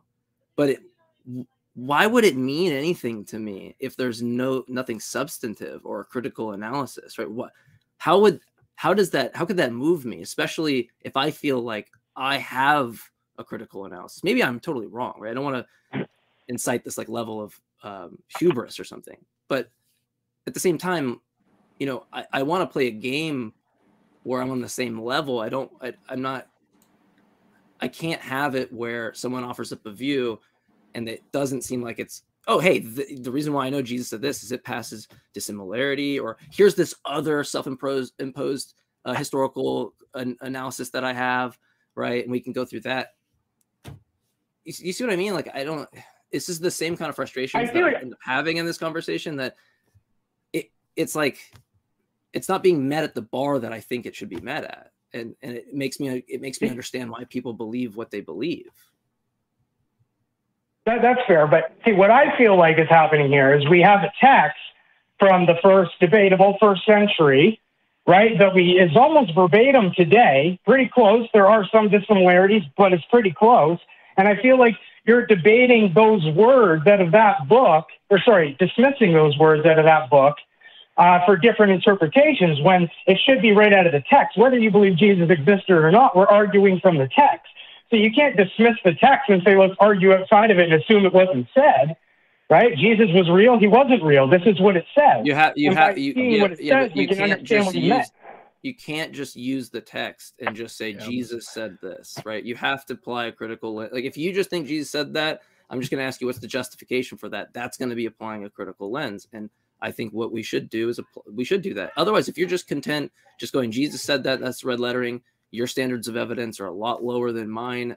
That's you're entitled to that. Uh, I can't I, I don't know I don't know how to move you, right? But but I will be I will be honest with you you're not going to move me with this type of a response. I just, man, we, I've, I've been sitting here just listening for the past 15 minutes, and and this whole time, you know, forgive me for paraphrasing, has been, well, Jesus said that the end is going to come real soon, and then we've been like, all right, well, it hasn't though, and like, yeah, but he said it. Right, but it's been 2000 years since he said it and he said it was going to happen within his lifetime and then it didn't happen. Uh, yeah, but he said it. We are sure we could argue whether or not he actually said it or how you know that he said it, but the fact is that it hasn't happened and you're like, "Yeah, but he said it." And it's like, "Yeah, okay. Uh, sure." But like that we're still here and the apocalypse hasn't happened. And he said it was going to happen within his lifetime and it was going to happen within his disciples' lifetime. And his disciples said it was going to happen within their lifetime or the next person's lifetime. and for the past 2,000 years, every single generations of Christians has been saying it's going to happen within our lifetime. 44% of Americans today believe that the apocalypse will happen within their lifetime, within the next 50 years. And I guarantee you it won't because it hasn't happened the other 2,000 years. And we're just sitting it just round and round for 15 minutes like, yeah, but he said it. Cool. He said he said something and then it didn't happen. He said something wrong.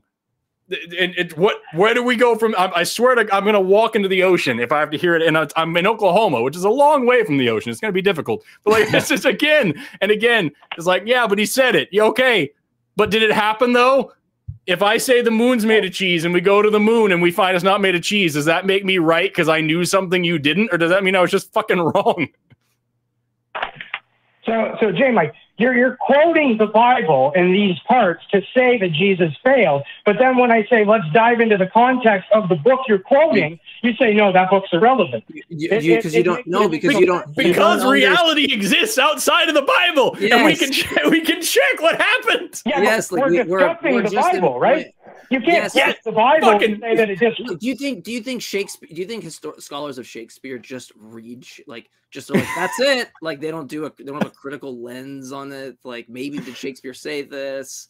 Like I was gonna, I was gonna say in in in the Lord of the Rings, Gandalf says a wizard is never late. He arrives precisely when he means to. And then later, when Frodo's in Rivendell healing from being stabbed by the uh, the, the, the Morgul blade, he's like, "Where were you, Gandalf?" And Gandalf says, "I'm sorry, Frodo. I was delayed." How did he say that? If he if he if he says that a wizard is never late, how could he have been delayed later? It doesn't fucking matter because this is reality and that's the book, right? So like we can't say, "Yeah, but he said it in the book." We have to check what's really going on. So if Jesus said this is going to happen and then it didn't, we can't sit here and say he wasn't wrong because he said it. Like that's that's not. If you put that in conjunction with Luke's version of the kingdom of God being spiritual, John mentioning it like I think John chapter three, and that's it. I'm, i could be someone fact check me on that, but I'm pretty sure it's like kingdom of God is like mentioned like one time in John chapter three, and that's it. And then the kingdom of God just becomes, I think, in John chapter 11, just like, you know, having eternal life. And, and right. So then the gospel of Thomas, right? Later, we have uh, sayings, Jesus say, sayings from Jesus. Well, obviously, you're not going to agree that they're sayings, but the point is not whether they came from Jesus. It's the point is that here are people at the time and how they are thinking.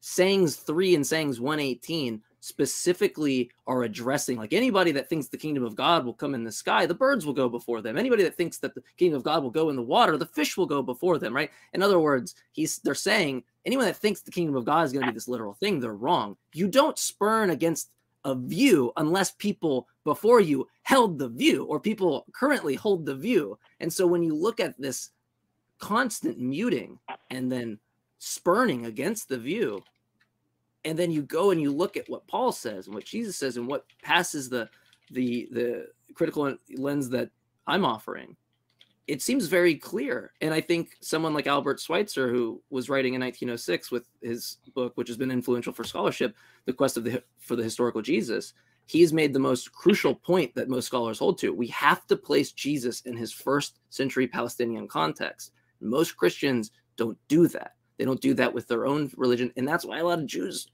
and you don't agree on what the son of what the term son of God even means or or Messiah, right? And so there's it's sorry, I'm going on a soapbox, but it matters. We have to place it, and that's that's that right there. That's the criterion of contextual credibility. We have to put it in first century Palestine. We can't put it in like you know, you know, in in 16th century England, right? Mm-hmm. So it does matter to apply gospel, independent. This gospel of the kingdom will be preached all across the world as a witness to all nations. Then the end will come. We're going to put that in Palestine. Like we're going to put that in early Jerusalem. Oh my God! Let's just right? move on. Many false Christs will rise.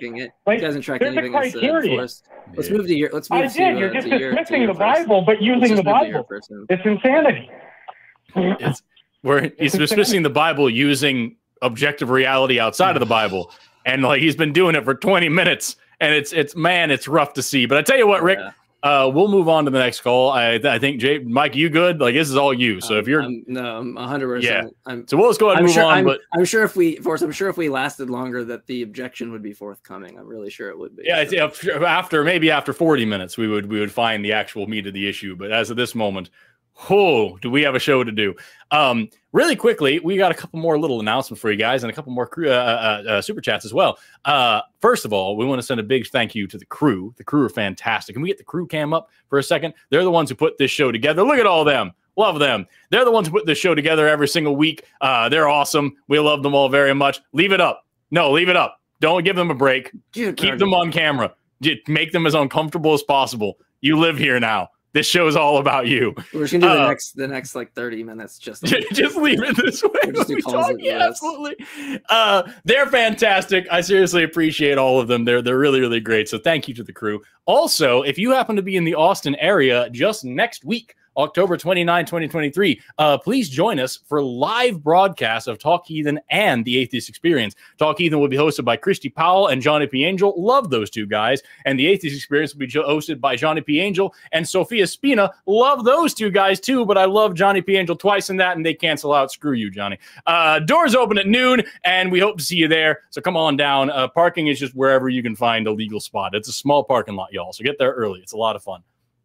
Um, with that, uh, oh, flip super chats too. Uh, wait a minute, wait a minute, wait a minute, wait a minute, wait a minute, wait a minute, wait a minute, wait a minute. I'll find. I swear to Glob, I'll find it. It's on here somewhere. There's a lot. There it is. Uh, was the last one, I think. Jimmy Jr. sent four ninety nine. Great host, great crew. Thank you very much. Um, William Mates sent uh, two dollars. Forrest, how does it feel to be the next Bill Nye? That's very kind of you to say, but I don't want to be the next Bill Nye. I want to be the first best Forrest Valkai you've ever fucking seen. Um, and then we've got uh, Sono Zaki as a new member. Thank you very much for that. Sent five dollars to say Mercury's days are numbered. We'll name the first bulldozer we land there, Forrest. Can't love that enough. Um, uh, T, T is it Tau software or TA zero software? I don't know. Um, uh, t- Tantalum O software uh, sent five dollars uh, to my fellow globe heads who know who you are. Love that. Um, I'm assuming you're talking about being a round earther, not a flat earther. That's great. Um, Raymond Maynard sent six dollars and sixty six cents. Next time you, sorry, first time able to catch the show live, you do a great job here. Thank you so much. That Thank really you. means a lot. Uh, and those are all the super chats. Thank, uh, hey, we can move on to the next thing too. And uh, and now we've got another call. Like I said, this one is a direct challenge for me. Uh, I think we can be quick about this one though, because I, Sure. I, I just reading the reading the prompt here. I'm not sure. Uh, this is Mike, pronouns he, him, calling him from Canada. Thinks that Forrest is inconsistent about definitions regarding trans people and animals in the Bible. Uh, Mike, who isn't J Mike, you are on the Atheist Experience. How are you doing today? I've never had a bad day in my life, Forrest. Thanks for asking. I love that. Love that. So, what's going on? Yeah, what what which specific things do you think I'm inconsistent about with these topics? Absolutely. I don't mean to start this confrontational, but No, not at all. You question Gandalf, one of the Maiar and a member of the Istari Order. There's a difference Right. between. Uh, so a wizard arriving exactly when he means to says, "I'll tell you, I'm coming at six, but he knows he's going to show up at seven, so he meant to get there. When he says he was delayed getting to Frodo, he was getting there as fast as possible, but something got in his way. His destination Was delayed by was as fast as Saruman. Possible, something came up. Uh, but you're right. Uh, we'll try to keep it tight, so let's not uh, let's not see the Lord of the Rings. So, uh, right. Um, so one of the things that uh, what happened was I was listening back to a show uh, a few months ago that you were on, and you had two calls. One Mhm. call, someone was calling in saying, are asking about uh, trans people and how can Mhm. you have, uh, and they were saying, well, we have this strict definition. Trans people, like men are men, women are women. How can you uh, switch that? We have this definition. And your response, I, I might be misquoting you a little bit here, but was along the lines of these things are categories that we create. And that's you still roughly agree with that? Genders bimodal. Uh, genders are categories we kind of invent. Uh, Are you asking me if I still hold to that that ideology or that that idea? Yes. Yeah. Yeah. Yeah. Yeah. Yeah. So so gender is spectral. Um, and gender is something that varies from culture to culture, from generation to generation, from person to person, from day to day. So because of that, it it's impossible to say a man is this and does these things and and and acts these ways, and a woman is this and does these things and acts these ways, um, because it's going to change in 50 years. It's going to change in a different part of the world. It's going to change from one person to the next within the same community within the same you know time frame so like it's it's not something that you can just pin that way. Um because especially because of of you know gender performance theory. Um gender is something that we do more than something that we are.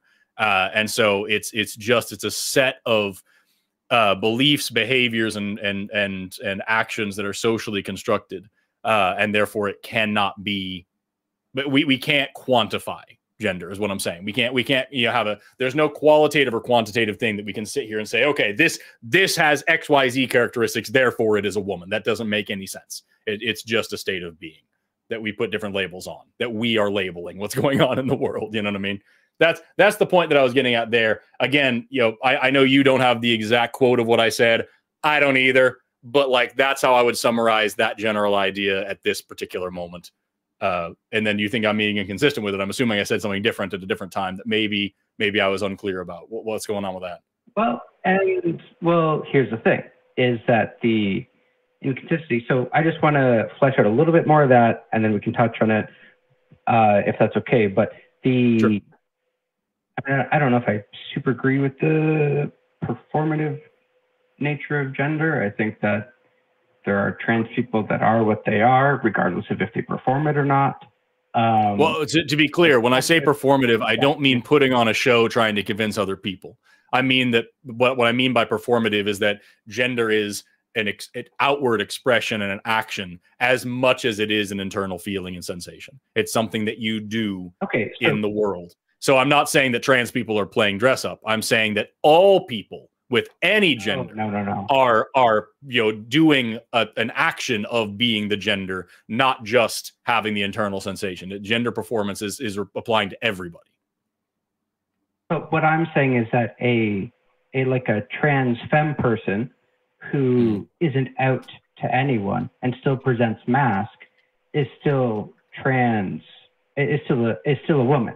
They're still Yes. a woman, even if they Yeah, don't perform absolutely. any feminine behaviors. So that's the, just this little thing I have with the performative definition of gender, because someone Yeah, can so be a woman and- if they don't perform any outward behaviors of being a woman. Yeah, may, Because of- maybe the word performance is is mis- misleading. It's it's the the idea of gender performance is that it is something that is displayed in your daily habits. It's something that you are doing all the time.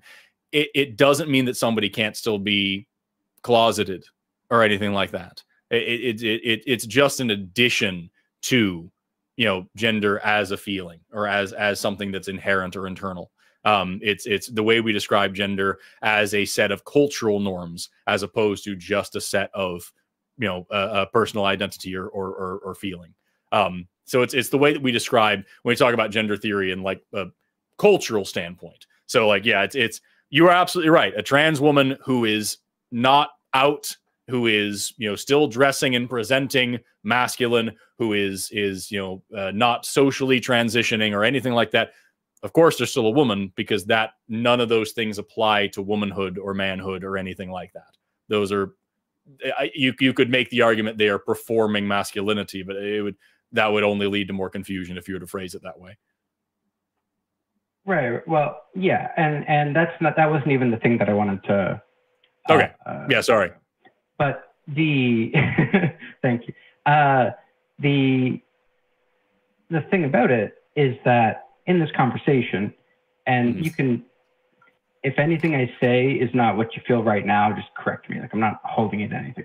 Is that um, when we come up with what is a man or a woman or NB or anything around that spectrum, these are definitions that we are deciding. Because you said something, I, I, I really like the line. You said, like, um, nature is fuzzy and gray, and we try to put boxes on it to make definitions. That sounds like some shit that I would say. Yeah.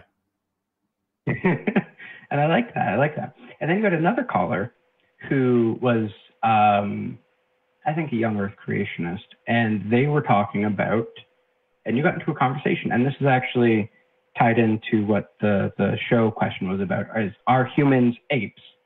And mm-hmm. you had this conversation with this person where they said, "Well, no, in the Bible, God made man, and then He made animals." Or I, I think in Genesis two, it's the other way around. I can't remember, but anyway, they were made yeah. separately, and so typical Forrest style, you went through, well, first of all, we're mammals. We got nipples, we got memories. Uh, and then went through a couple other things that defined us defined us as apes. That that's something you would say or do right now if I said humans aren't apes. That's what, right? yeah, yeah. That's what I was going to start the show with, but we had to. We are on a time frame. yeah. right, right, right. But the problem I had, because this guy was saying, well, and this is where I think the contradiction comes from, was that he was saying, uh, according to the Bible, humans are not animals. And then you said humans are animals, uh, according to biology. And the and looking back at the prior thing, we said definitions of these things on the trans issue, we said definitions of these things are fuzzy and we're kind of making these boxes up um, because nature is fuzzy. Nature doesn't come with boxes. We make the boxes. Nature is fuzzy. So, but that's a definition that we're using. We're creating a definition. So one could say, like, you know, you've heard the tomato thing. Tomatoes are a fruit, but like uh, in a biological sense, but they're not a fruit in a culinary sense. Like if you make like a veggie terrine, you can put a tomato in there. You're not going to call it a fruit veggie terrine. So I think that someone, and this is kind of the main case I'm trying to put forward, is that someone who's like a biblical literalist can say, by a biblical definition, humans are not apes. Okay, so you're you're saying that you're. It sounds like your challenge to me is that because I put things like gender and species and everything else on the the same playing field and by saying that all of these are boxes that we as scientists draw around nature we look at nature nature does what nature wants to do we find patterns we draw boxes around those patterns doesn't mean that the boxes are necessarily real and that's why the boxes change from time to time those are all things that i say your argument is that then somebody can come back to me and say, well, because the boxes are arbitrary, I choose to draw them differently, and you can't say that I'm wrong. And in my choose choice of the boxes, I can say that trans people are invalid and that humans aren't apes or animals and, and blah blah blah. Is that is that about what I'm getting? Uh, pretty close. I wouldn't push that trans people are invalid. You opened with it, so I didn't know if it was necessary that it, it be involved. Can I just point out that I, I well, really I, like for the audience or anybody else, not that any, not like anybody is not aware, but if anyone isn't aware, what Forrest did just there is like really good in, in a dialectic. Say this is what you're saying. This is my view. That Steelman's great. I just Sorry, I just wanted to give kudos to that because it, it, makes a conversation work so well. So I try, I try. Uh, yeah, sorry, I, will shut up now. I just that's, that's all I have to offer right now. I appreciate that. No, it's very kind. I I would argue with it, it, with that being the the challenge. I would argue um, specifically right. about the animals thing first. Um, that the box of ape is within the box of animal, and the box of animal is within the box of life and so like it, there there has to be some fundamental reality that we can agree on. And there's a certain point where all of our boxes are going to be the same. Um, so you talk about like, you know, animal versus plant versus fungus versus whatever. It comes down to cell type. Like you you look at their cells and you can tell the differences. And yet there are plenty of living things that fall outside of that that cannot be classified this way. That's why we have protists We had, you know, the Protista used to be a whole kingdom, and then it kind of wasn't anymore. And now we have animal-like protists and plant-like protists, and we have different. But at the end of the day, these are things that simply cannot be classified as plants or animals. They're just kind of fuzzy, weird, in between gray areas that still exist and still matter and can still be tested and still have real ramifications in the world. That doesn't mean that the box of animal and plant and all these things aren't real. So if you're talking about humans being great apes, if you accept the fact that we, you know, J Mike and I were talking about this just before the show, if you accept the fact that humans are mammals, you must therefore accept the fact that humans are animals because the mammal box is within the animal box. And so it's it's like saying, yes, this is a Subaru, but it's not a car. That doesn't make any sense. You know what I mean? That you can't say that. And so, like, I'm still looking I've- for those non-animal, uh, non Right. Yeah, gi- give me an you example Can of- email, you know, Yeah. yeah, atheist. I Right? Yeah, no, and yes, and- that's the thing. Yeah. And, Um, and it's the same thing if we talk about, you know, with with with gender, one of the challenges that I give to people who who claim that, you know, sex and gender are the same thing and that they're strict binaries and that they fit in these little boxes is can you give me a definition of man or woman, male or female? Let's say, so let's say, you know, the popular one is woman. That's the one that everybody likes to jump through so they can lump homophobia and sexism together into the diarrhea martini called oh, transphobia. what is what is a Um, woman? Huh? Yeah, exactly. Yeah. So Um, let's go with that one. Can you give me a definition of woman that number one includes all cisgendered women and all transgender men? Number two excludes all cisgendered men and all transgender women. And number three is exclusively solely based on physical characteristics. You can't. There's there isn't. Well, I've yet to hear one. A, a, a, a solid definition of that that makes sex and gender the same thing and can actually properly define one against the other in a way that includes every single member of this group and excludes every single member of that group and is purely physical. It doesn't make any sense because sex is a multivariate system without a single determining factor, solely determining factor, and without a single factor that has ex- uh, just two uh, uh, variables. And gender is a completely separate thing from sex necessarily. Okay, so Um, and so it's the same thing we talk about animals, when we talk about species, when we talk about what our taxonomy is. You know, when when I said at the beginning of the show that we are apes and that's not a matter of opinion or worldview or whatever like that, um, you what that, the reason why I say that is because when you build the classification system for an ape, humans necessarily fall into that group. You don't have to try to put humans into the ape group. When you classify an ape, you end up with a human too. And there was a long time we tried to not do that. When we tried to say, like, humans are this other, we, we made man the tool maker, always only man, the tool maker, right? And then Jane Goodall went out and found chimpanzees making tools. And uh, Leakey uh, famously said, well, we either need to redefine tool, redefine man, or accept that chimpanzees are humans. And so, like, that's the thing, man. Every single time throughout history that we've tried to set ourselves apart, it hasn't worked. When you use the classification okay. system that we have, it, it, it works as well. And you could argue the classification system is broken, but that is a very, very, very expensive thing to say because you now need to find a way to restructure a classification system in a way that works like with what you're saying specifically. And I guarantee you can do that. You know what I mean? well, no, here, I can, I can, very simply. Um, Go for it. So when you, because you How I feel like this isn't going to be simple? when we build. Oh, sorry, Jay, Mike, were you saying something? Oh no, no, sorry, ignore me. I'm Sorry. Oh, sorry. Okay. So when you said when we build the classification of an ape, and that's a really important comment here. That's a really important statement. And that's what I'm pushing back against a little bit is that we decide what counts as an ape or not. When I say we, actually, I want to break it down a little bit because we sounds like it's including everyone. We includes biologists. I think uh, the FDA. The FDA. Do you know what the FDA classifies bee honey as? It classifies it as raw meat. As a biologist, do you think honey is raw meat?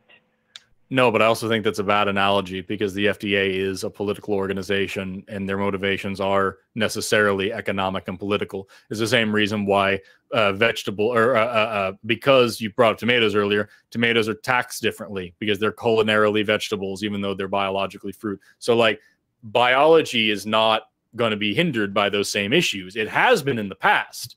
And a big part of biology over the past really two centuries has been to undo that and to say, all right, these were us, you know, these classification systems here were us applying our literally Victorian standards on the rest of the universe.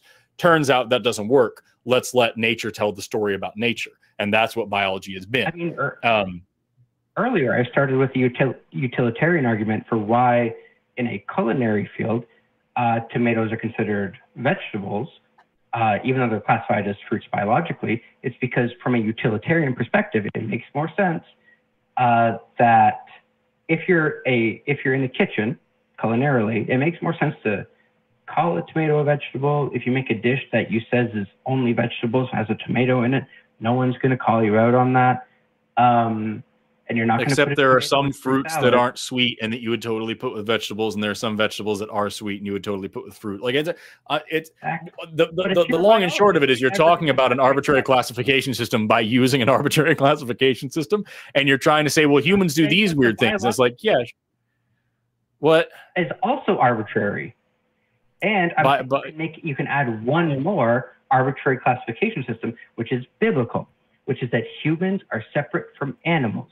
And that's part of the thing is you can make a arbitrary you, because if we can agree that the biological classification things, because you did say we created it, um, if that is fundamentally arbitrary, then a biblical definition of whales as fish. I mean, you know, the fish definition is already a weird one anyway, but um, excluding humans from animals, uh, I mean, which we do colloquially anyway, uh, is another arbitrary definition that a that a Christian or whoever could have that is valid in the sense that so long as they're not saying in a biological sense humans are not animals still makes sense in the framework of biblically humans are not animals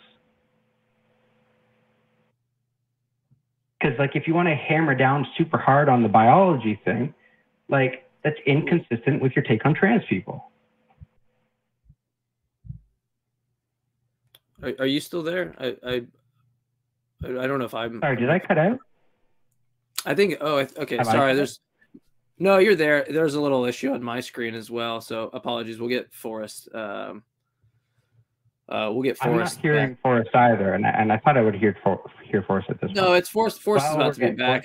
No, you're. Forrest is back. I, I I thought it was me, so we were both kind of going through this. oh. Uh, oh. oh i'm sorry uh maybe maybe that's on my end Yeah. Mhm. Just really No quick, Mike. Uh, earlier, I I've seen you a few times on the show. Did you say you were a Christian earlier, or did I mishear you? I've never been a Christian. Oh, okay. I I think you said in the example you're presenting as a Christian, and that's what I probably heard. Yeah, no, I I, Or you know would go to church cha- church camps and stuff like that with friends, and uh, so I mean there might have been a time where like I was thinking about this actually like a couple days ago, where I was like, well, like you guess you could make an argument that there was a time I believed in God, but I don't really take being a kid and having like an attitude towards a proposition no, the same way that when you're older, because like you're kind of taking anything you can get, and if you just hear something, it's almost like you can just formulate, you know, just a belief on that thing, and so yeah, so I wasn't, I wasn't what would you, you know, what people really mean by when they say they believe in God. Not only am I back, but my quality is significantly better. At Yeah, least you on my end. That one- It was way better you, than it was. You went off and got your, you get makeup. That's what happened. Got my glow up. Yeah. I- anyway, Mike. I- uh, yeah. Long story short, from what I'm hearing, is that like anybody can apply any arbitrary thing. I would argue that science has gotten significantly less arbitrary, especially biology, uh, over the past couple of centuries. Um, we've been doing a really good job of dismantling old constructs and reapplying you know looking at nature and letting nature tell the story and so while i would maintain that yes our whole job is to draw boxes around patterns and the the reason why i say that is because sometimes those boxes change because we discover new data that doesn't mean that the boxes are flippant or that they're they're pointless. It means that we haven't discovered any new data that would make us change the boxes yet. What's important to remember is that you never accept a hypothesis, you fail to reject one. You're always trying to look for a reason to change. You're always trying to reason to prove yourself wrong. And when you can't find one, you cannot prove yourself wrong anymore. That is when you move forward with a proposition.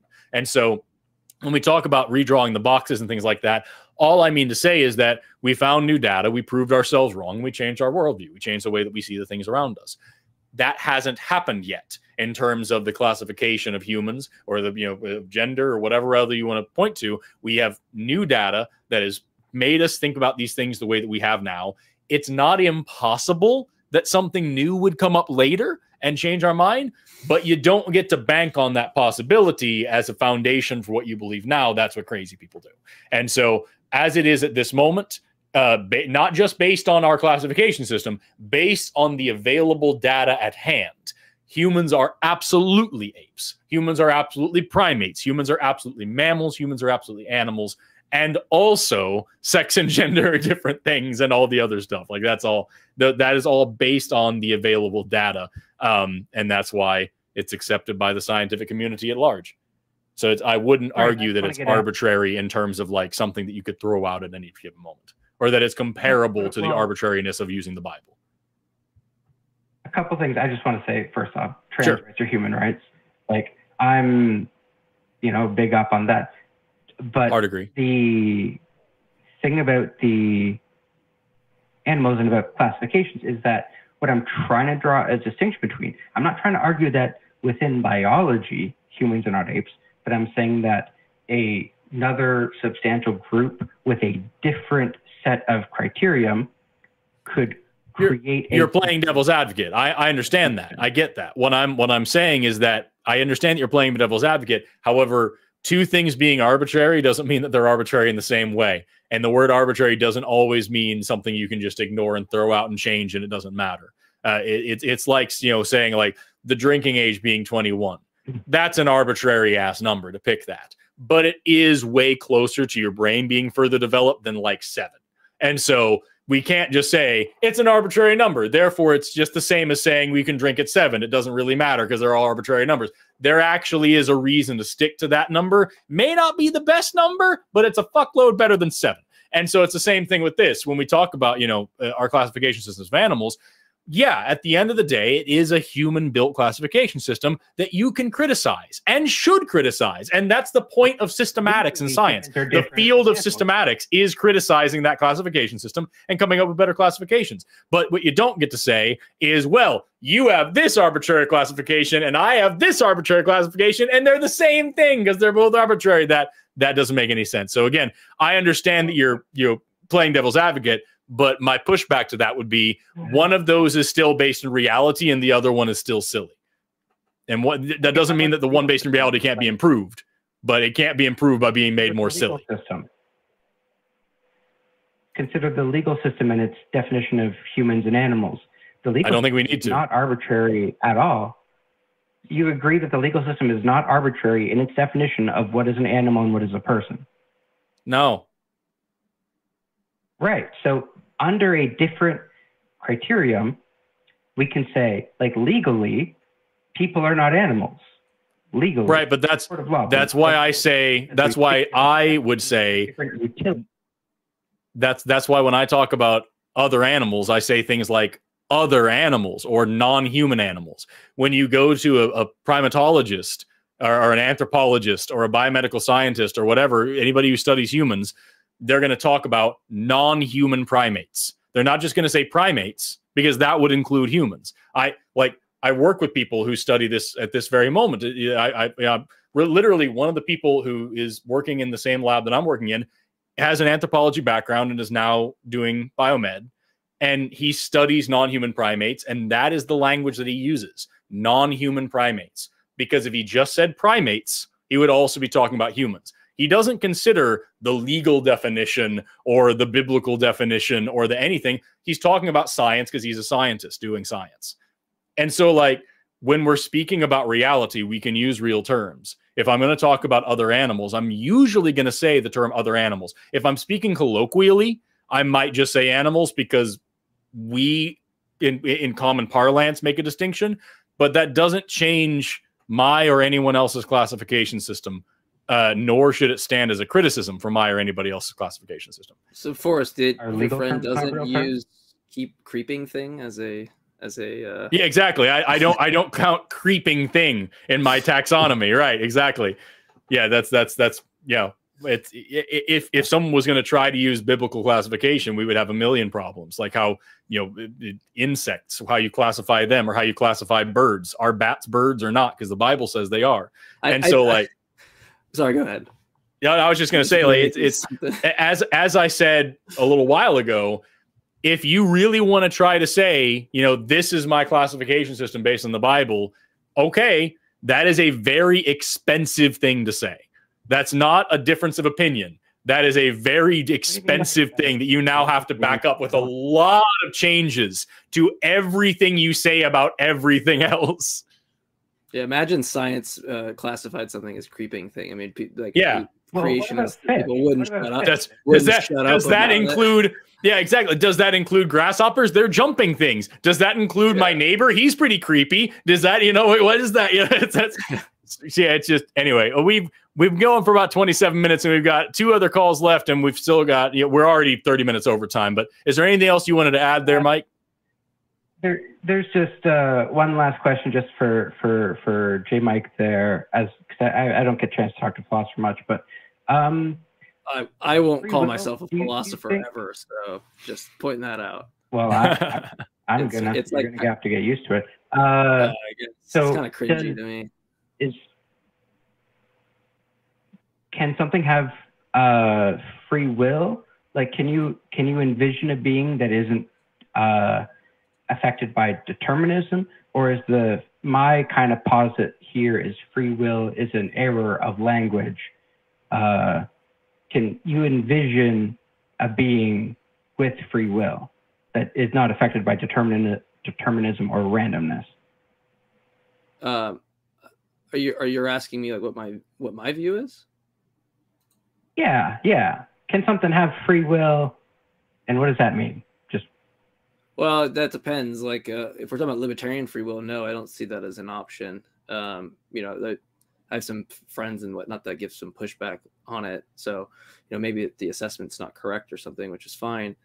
Uh, but the way that I look at possibility or modality or um, being able to do otherwise or um, anything like that is it's a question about if the antecedents are fixed. Like if we fix those, uh, I have an issue with explanatory difference, uh, like an explanatory difference principle. And what I mean there is like if I if we fix all the facts, like Forrest, you know, makes a sandwich and gets all the the bread out and the mayonnaise, right? And he's about to eat it. Ugh. Um, yeah, I don't like mayonnaise, Mayonnaise. either. Yeah, I just said that in case Katie was watching. I'm with you guys. Yeah. Uh, um, so, um, but i- if we fix all those facts and we say that like in one case like he eats the sandwich and then in another case like it could you could hold those same antecedents fixed and he could just decide not to eat it uh, there needs to be some explanatory difference between those two worlds and what that's going to amount to in my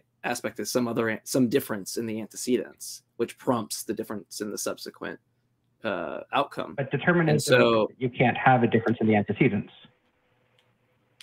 Well, I'm just saying if we're supposing that we say like, why did um Forrest eat the sandwich rather than not eat, or you know, what is there an explanation for why Forrest ate the sandwich as opposed to no explanation? That's going to be a true dichotomy, and if it turns out to be an explanation, then what I'm looking for is an ex- explanation on uh like why he ate the sandwich, and if we can use the exact same ex- explanation uh, to appeal to him not eating the sandwich. And I'm saying you can't do that because uh, there's an explanatory difference. There's different antecedents that are going to prompt uh, a different outcome. And so free will isn't even an option in that case, right? It's not even part of like in my view. It's not even part of the dichotomy. The only way Right. that you could Okay. get a different option, in my view, is if there's like something indeterminate or random. Because, like, you can imagine that random we're. Um, doesn't equal free will because then you no, no, I, I don't. Yeah, I don't know.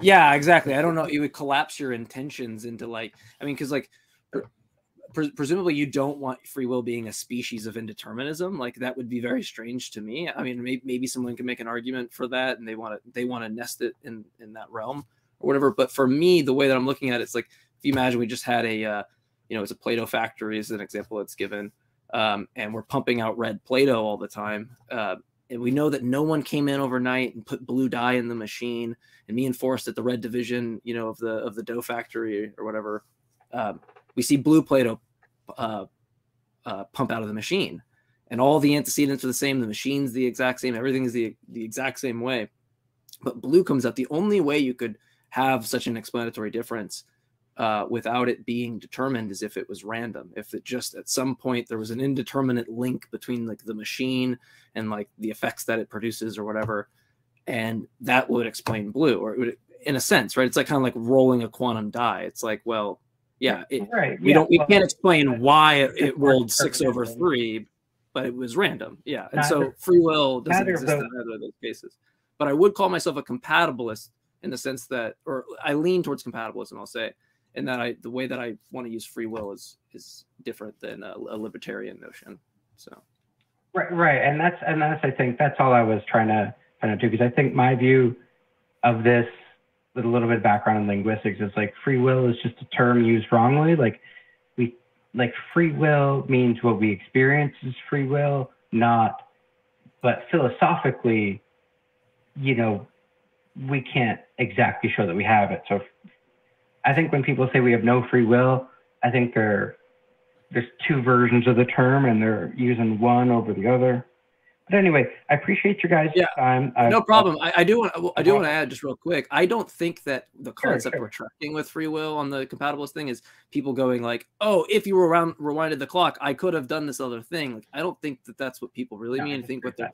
I think, yeah, I think that the concept that we're actually tracking, and I know there might be a lot of people disagree with me, is something acting as in according with your desires and what you want, some like a normative kind of accordance relation or something. Um, and it wouldn't matter to me whether or not I was like determined to vote, you know, for candidate A or whatever. You know, if someone came up in the machine and Plankton got in my head and you know just you know try to get me the Krabby Patty formula or something, or get me to vote for candidate B, uh, that's going to go against the desires that I had. And I think that when we talk about free will and the context there, I think most people are tracking that concept. That's going to involve a giant analysis. I can't sum it up in this, you know, last little few sentences, but um, there's debate on that, and I, I enjoy that topic, but it's definitely not something that I like go out of my way. It's I, I can take it or leave it with determinism or compatibilism. I could wake up tomorrow fully determinist, not compatibilist. I wouldn't. It doesn't matter to me. And with that, uh, Mike, we're going to jump on to the next call. But thank you so much for being here, man. Feel free to call back anytime. All right. So we've got two calls left. We're already 30 minutes over time. we've got two calls left. Um, so we're going to uh, blow through these as fast as we can. There's one in particular that I'm interested in uh, hearing out. And I know you, Mike, said you have a hard cut here in a minute anyway. So, like, we're, and I probably do too, if I'm being honest with myself. I, Yeah. I should probably be done. I've got I've got so much going on today. Um, but really quick, before we move on, have you ever thought to yourself, I love the ACA content and all the things that the ACA creates, and I wish that there is a way that I could get it all the time. We've all been there, and boy, have we got you covered. We now have two, count them, two 24 hour live streams. AXP TV delivers a constant stream of shows, clips, and specials over all 26 seasons of the Atheist Experience. And now Heathen TV provides you with clips from Talk Heathen as well. Uh, watch or just listen to your favorite hosts and discover some new hosts you've never even heard of. Visit tiny.cc slash AXPTV and tiny.cc slash Heathen TV to join into the fun. And with that, uh, we're going to read some super chats and then we're going to do the last uh, maybe one call, maybe two calls, depending on how this goes. Um, We've got Sean Isherwood sent another two dollars. Look up disjunctive. Uh, uh, sorry, they're called disjunctive numbers. Look them up. Um, super chat from Halo Master twenty one forty three two Canadian dollars. Round and round the circular arguments go. Andrew Sword, six dollars and sixty six cents. Atheist Community of America win. That sounds like like a Justice League of America, like the Atheist Community of America. Sounds pretty tight. Um, and then a bunch, a bunch of things telling me that my camera's bad and I need to refresh. Halo Master 2143 again. Got five Canadian dollars. If I ever have kids, I hope to every fiber of my being to hear hope them sing a Valkai the Science Guy theme song. Valkai the Science Guy does rhyme. I'm just saying. After school, that would be fantastic. Um, and then we've got Megan Marie sent four dollars ninety nine cents. Amer- uh, uh, those are American four dollars ninety nine cents, so you know they're real and valuable, not like the Canadian ones. Uh, Forrest and J Mike, what a great uh, matchup! Great show tonight. Thank you so much. That's Thank all you. very very kind of you. Um, with that, we're going to jump into uh, possibly the last call. We'll see. This is James, pronoun he, him, who's calling in from California, wants to explain why God does not intervene. James, you're on AXP. Thank you so much for waiting for so long. How are you today? I'm great, thank you. Yeah, I just was listening um, earlier, and I wanted to um, give the explanation of why God doesn't, um, you know, intervene in everything. For example, when you know something bad is happening, because um, He is going to, His judgment is going to happen, but right now He's being patient, and I know that it seems to us how cruel, how unfair but if he did intervene right now, then he would have to punish all of us that have, uh, have been immoral in any way. So really, really quick before before we go on any further, James, I just want to ask you: Were you you you said you were calling in because we were talking about this earlier? So I just want to reiterate very quickly: You heard us come to the conclusions, and I want to ask if you agree with these conclusions. To be clear, what I'm doing here, we came to the conclusion that it is possible for everybody to know for sure that God is real and not violate their free will. It is possible for everybody to make only good decisions and never ever sin while also still having free will. It's logically possible that God made a world like that and he chose not to. We also talked about how God doesn't intervene uh, because, uh, and even though intervening could also still keep our free will. So I know that's not what you've talked about yet. I just want to make sure so we don't have to rehash all of that do you agree with all those premises right. that so, it is absolutely possible no, that God does intervene and makes everybody believe in him without changing free will? And is that we on board with that? And if not, which premise that. do you? This is why. Which which premise do you well, say why? But tell, well, okay, tell us which biblical, tell us which the, premise you specifically deny, so that way we under, we understand what you're referring. Yeah. Um, it's not. We do not have free will when it comes to being moral, perfectly moral. We do not have that. It's impossible. Oh, well, that makes, that makes the moral. argument that makes the argument Re- easier. Then God could yeah, just determine the outcomes. Well, this way. is this is this is this is why. So, because immorality came into the world through Adam and Eve, according to the story. Um, because of that, those two people who were immoral had children who then were immoral because that entered into everything that we know, everything we see, the world, everything in it, people, everything. Every single thing is not perfect. It's not the way God created it. None of it is. Nothing is. God didn't make us this way. We became this way through sin. So we're looking at the world and everything in it as these amazing things, and we don't even understand it all. But it's all imperfect. This, isn't this isn't an objection. Everything. In the argument in the argument I gave, right? So let me ask you the same thing. Right. Do you think that when you yeah. sinned, that you freely could have not sinned the last time that you sinned? No, I do not. I do not agree with that. We cannot help ourselves. We try. Okay, we so, okay, so then, so then, so then, so then, it's determined. Then, right? It's not determined. It's the fact okay, that so, it's part of us.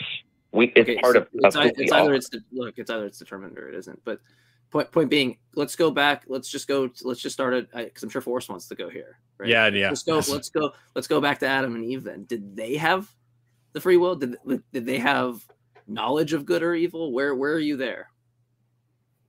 They have the ability to make a choice, yes, but they didn't understand what the choice would end up being so, afterwards. So they, God can create any logically possible. Hold on, God can create any logically possible he, state of affairs, and now this is even easier of an argument because now I just need mm-hmm. one element in the set, just one element in the set, not even the whole set. I just need one element in the whole set. Adam and Eve freely could uh, freely could have chose the good. God is a being that can instantiate any logically possible state of affairs. It's logically possible that they choose the right choice, right? No, You just said it's logically possible. Oh, it's not. What's the choose the right What's the con- What's the contradiction of them Just choosing the right choice? Just, just What- to, What is the a moment, proposition and its negation The- entailed the- by them making the right choice? That's what a contradiction is. okay, just a moment. The reason that they made the wrong choice was that they were tempted or lured into something, believing it was going to benefit them. Do you You understand? just just like we are. Even today, we are. That you just right? said that we we believe that we. Well, what do you mean? We Yeah, believe we make choices look- based on what's going to benefit us, look, right? Let's just, And so we're let's just- lured into things, and sometimes we realize track- after the track with me, fact. Track, track with me. Track with me. When we, you said it's either the case that they they have libertarian free will, yes or no. They can choose either they can choose evil or not, right? Or choose the good. True or false? Well, they have the ability True to choose. Adam and Eve had the ability True to or false? choose to Do to not make make me the decisions. for the first That time. was that was such a short answer that had like, come on. True or false? Do they have free will? Their True decision was to obey or True not false? obey. That true was or false? to obey True or not or obey. false? That's a- true or false? I'm just gonna say true or false. Say it again. true or Say the false. statement again. Yeah, so you weren't listening. Great. I'm glad. I'm glad. I'm glad that I interrupted then. So yeah, Hold on. they Say the have free. statement. Adam and Eve. Adam and Eve have free will, and this time, listen to me. True or false? You have to explain what what type of free will. What was their They- free will?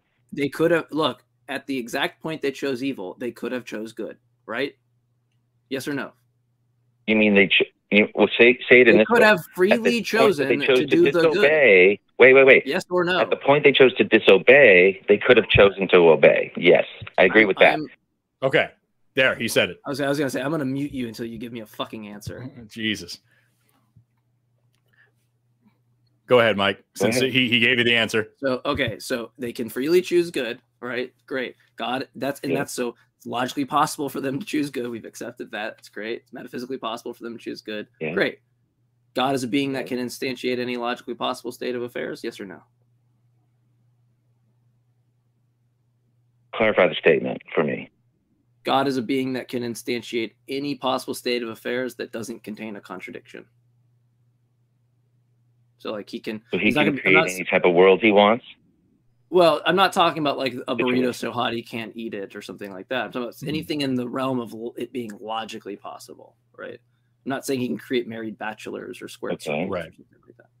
Yeah, Agreed, So he can do all. Yes. Okay, great, great. So then the conclusion follows, right? God can make a world such that Adam and Eve selects for the. He only has two worlds to select from, right? Yeah, or really. or th- three if they just decide to like.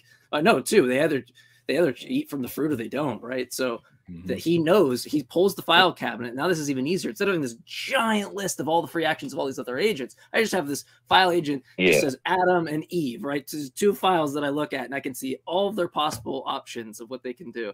And in the world where Okay. they do the evil, I know that ahead of time. In the world where they do the good, I know that ahead of a time ahead of time. And if my desire is for everybody to freely do good, and I'm a rational agent, seems very clear what the rational choice for me to do, right? So it just sounds like what you're stating is you Mhm. believe in a God that's irrational and that fails with respect to his desires if he desires such a world. Now, the No, next question no, is, is does he he desire desired. that world? This and is Forrest, what I'm he sorry, you come, you I'll come, you come on you in. real I quick. don't want to hog all this. Yeah, In you're fine. in a I'll, I'll let him answer and then sentence, I've got some explain things. to you. Just a couple, okay, in just a couple sentences, I'll explain it to you. This is the world he desired. He desired and knew ahead of time that people would fail and that they would be in, in immorality. They would be living in morality. Every single person ever born after Adam and Eve. He knew that. So he predestined for the, a way out of that immorality or the penalty of that immorality, which is death. He predestined a way out, which was for those people to humble themselves, admit their guilt, just and ask him to forgive them. That's that's no no no. This is this is the exact. You're just a tool. You're just a tool for the end. Then you're just you're just a tool for the end, right? You're just a mechanism. Not a tool. No no no. Yes, it's No, it's so- no so different. no, example, look, it's for- no different than me pressing a button on the computer. The end result that I want is the the screen to come on. You are just like the inner working of the computer. No, because this You're is what he's of the get. This is what he's going to get out of it. This is what he's going to get out of it. He's going to get people who either humble themselves and admit their guilt and ask for forgiveness and try right? And come to him for that forgiveness. Or he's going to get people who recognize their guilt or their immorality and they're going to deny him and push him away and shun him. Those are the This wheat and the this tares. He's let them all grow. He's letting them all grow up together. This is what's happening. We're all growing up together. We live together. Some of us are shun- shunning him, and others are admitting that we're guilty. We're humble ourselves, and we come to him and say, "Forgive me. I I've put you on mute. I typically don't do What- this. But what- how in the hell is this an objection to anything that we've said at Yeah, all? this is this is just you're you're preaching and you're just saying terrible, terrible things. Like what an asshole. If anything you're saying is true, what an asshole this God is. Like I, I, I I'm sorry, you haven't addressed anything that J Mike said. I have a few a, a list of notes here about everything you've been saying that I would like to address. But Yes, like, just well, let's bring him back. Let's make sure he can. he- Is he unmuted yet? oh, he's unmuted. Yeah, he's unmuted. Okay. Just like what you're saying at this point here, uh, James. I just want to make sure that you're you're understanding is like, yeah, well, well, God made the world this way because He wants these things to happen. He wants us to do bad things. He wanted Adam and he Eve. to doesn't sin. want them to happen. No, That's wrong, then that's insane. Then that's insane, James. wrong. Because what Jay Mike just explained to you was that God logically could have made a world where Adam and Eve didn't sin. And you said, but he wanted it to happen that way. And if you're backtracking on that now, who it's cares? not that he wanted it. No, it's not that he wanted it. You're He saying he had I'm not- hold on, I'm not- away. I'm not going to let you preach again. I'm not going to let you preach again. The fact of the matter is, all blame ultimately falls back on God here. No matter how you slice it, if there is evil in the world, it's God's fault. That is all that there is to it. It's God's decision to make it, it's God's decision to allow it, and it ultimately falls back on Him. If Adam and Eve didn't know the difference between right and wrong, and they made the wrong decision, you can't blame them for it. God knows the outcome of everything. If he knew something bad was going to happen and allowed it to happen anyway, he can't blame them for it. He knew it was going to happen and he didn't intervene. You said Adam and Eve were tempted in the garden. Who put the serpent in the garden? Who made the garden that way? Who allowed the tree that they shouldn't touch to be in the middle of the garden? Who's the one who made all of the circumstances of temptation?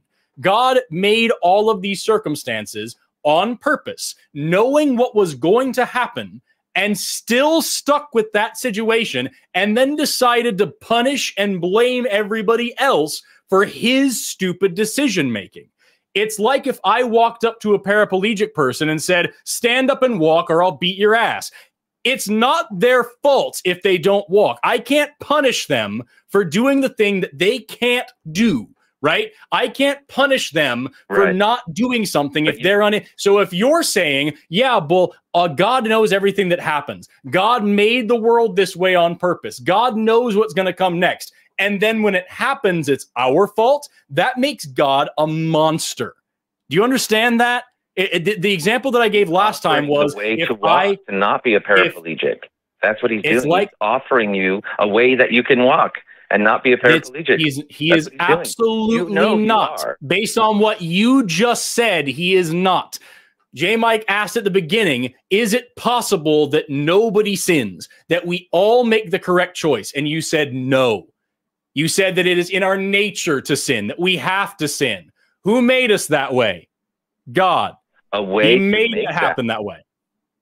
It doesn't matter if you change it. Again, the way the example I gave at the beginning, the last time we brought this up, was if I get in my car and I see on the fuel gauge that I have 10 miles of fuel left, and then I try to drive 100 miles and I run out of gas, I can't blame the car. And I can't say, well, we drove past a gas station and the car didn't turn in there. It's inevitably falling back on me that I knew what was going to happen and I made the decision anyway. It's not the car's fault, it's my fault. If God knows the future, if God knows what's going to happen, if God knows all things, and then people sin and turn against him and all these things, then either he wants it to be that way or he's a moron and he just let it happen and was surprised that the thing that he knew was going to happen happened.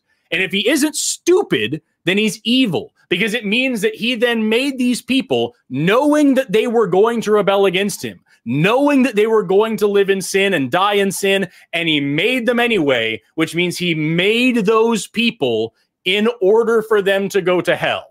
Hell must have been the purpose, the intention. at the end of it. And that is monstrous. There is no way you can slice this given your parameters or really any parameters, given that God is all knowing, uh, all knowing and all powerful, to say that God is not either stupid or evil It's or like both. thinking the guy that throws the grenade such that it creates a hero to jump on top of it. right? Like, oh, Exactly. oh, well, we wouldn't have, you know, like it's it the the circumstances of the grenade being th- uh the, the grenade being thrown is uh direct is not something that you turn back and go, well, we wouldn't have had the, a hero, right? The same thing with like, oh, it's really good that a bunch of people were oppressed and we had to, you know, Mhm. have a civil rights movement, but it's a really because then we have Martin now, Luther King. yeah, Yes. because yeah, then now we have these. It would be a better world if we didn't have to have had certain yes. people fighting for these rights. We should have just been equal from the start, right? And so if it just turns out that what your view is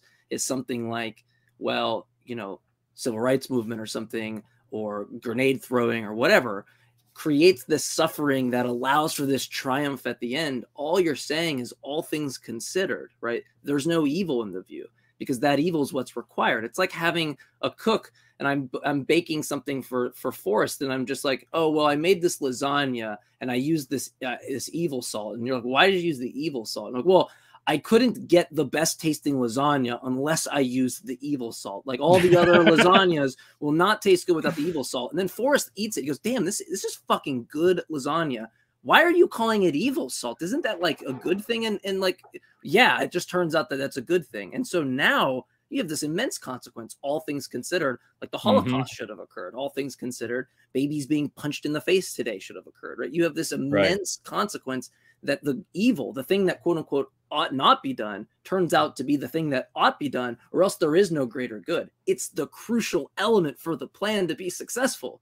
There's no evil in your worldview. And by the way, if there's no evil in your worldview, if there's nothing that ought not be done in your worldview, and sin is supposed to be something that ought not be done, well, then there's no sin in your worldview. If there's no, Mhm. there's, it just turns out that you're just making these like really weird claims and calling them sin. If there's no sin in your worldview, there's no original sin. If there's no original sin, then Jesus' atonement is vacuous. And if Jesus' atonement is vacuous, then Christianity is false. So I don't think that that is the, bur- the bullet you want to bite, where it turns out that there's nothing that ought not be done, because sin becomes vacuous and Jesus' death is meaningless. Like, like I said a minute ago, man, there's no way you can possibly slice this where God is neither stupid, evil, or both. Am I muted?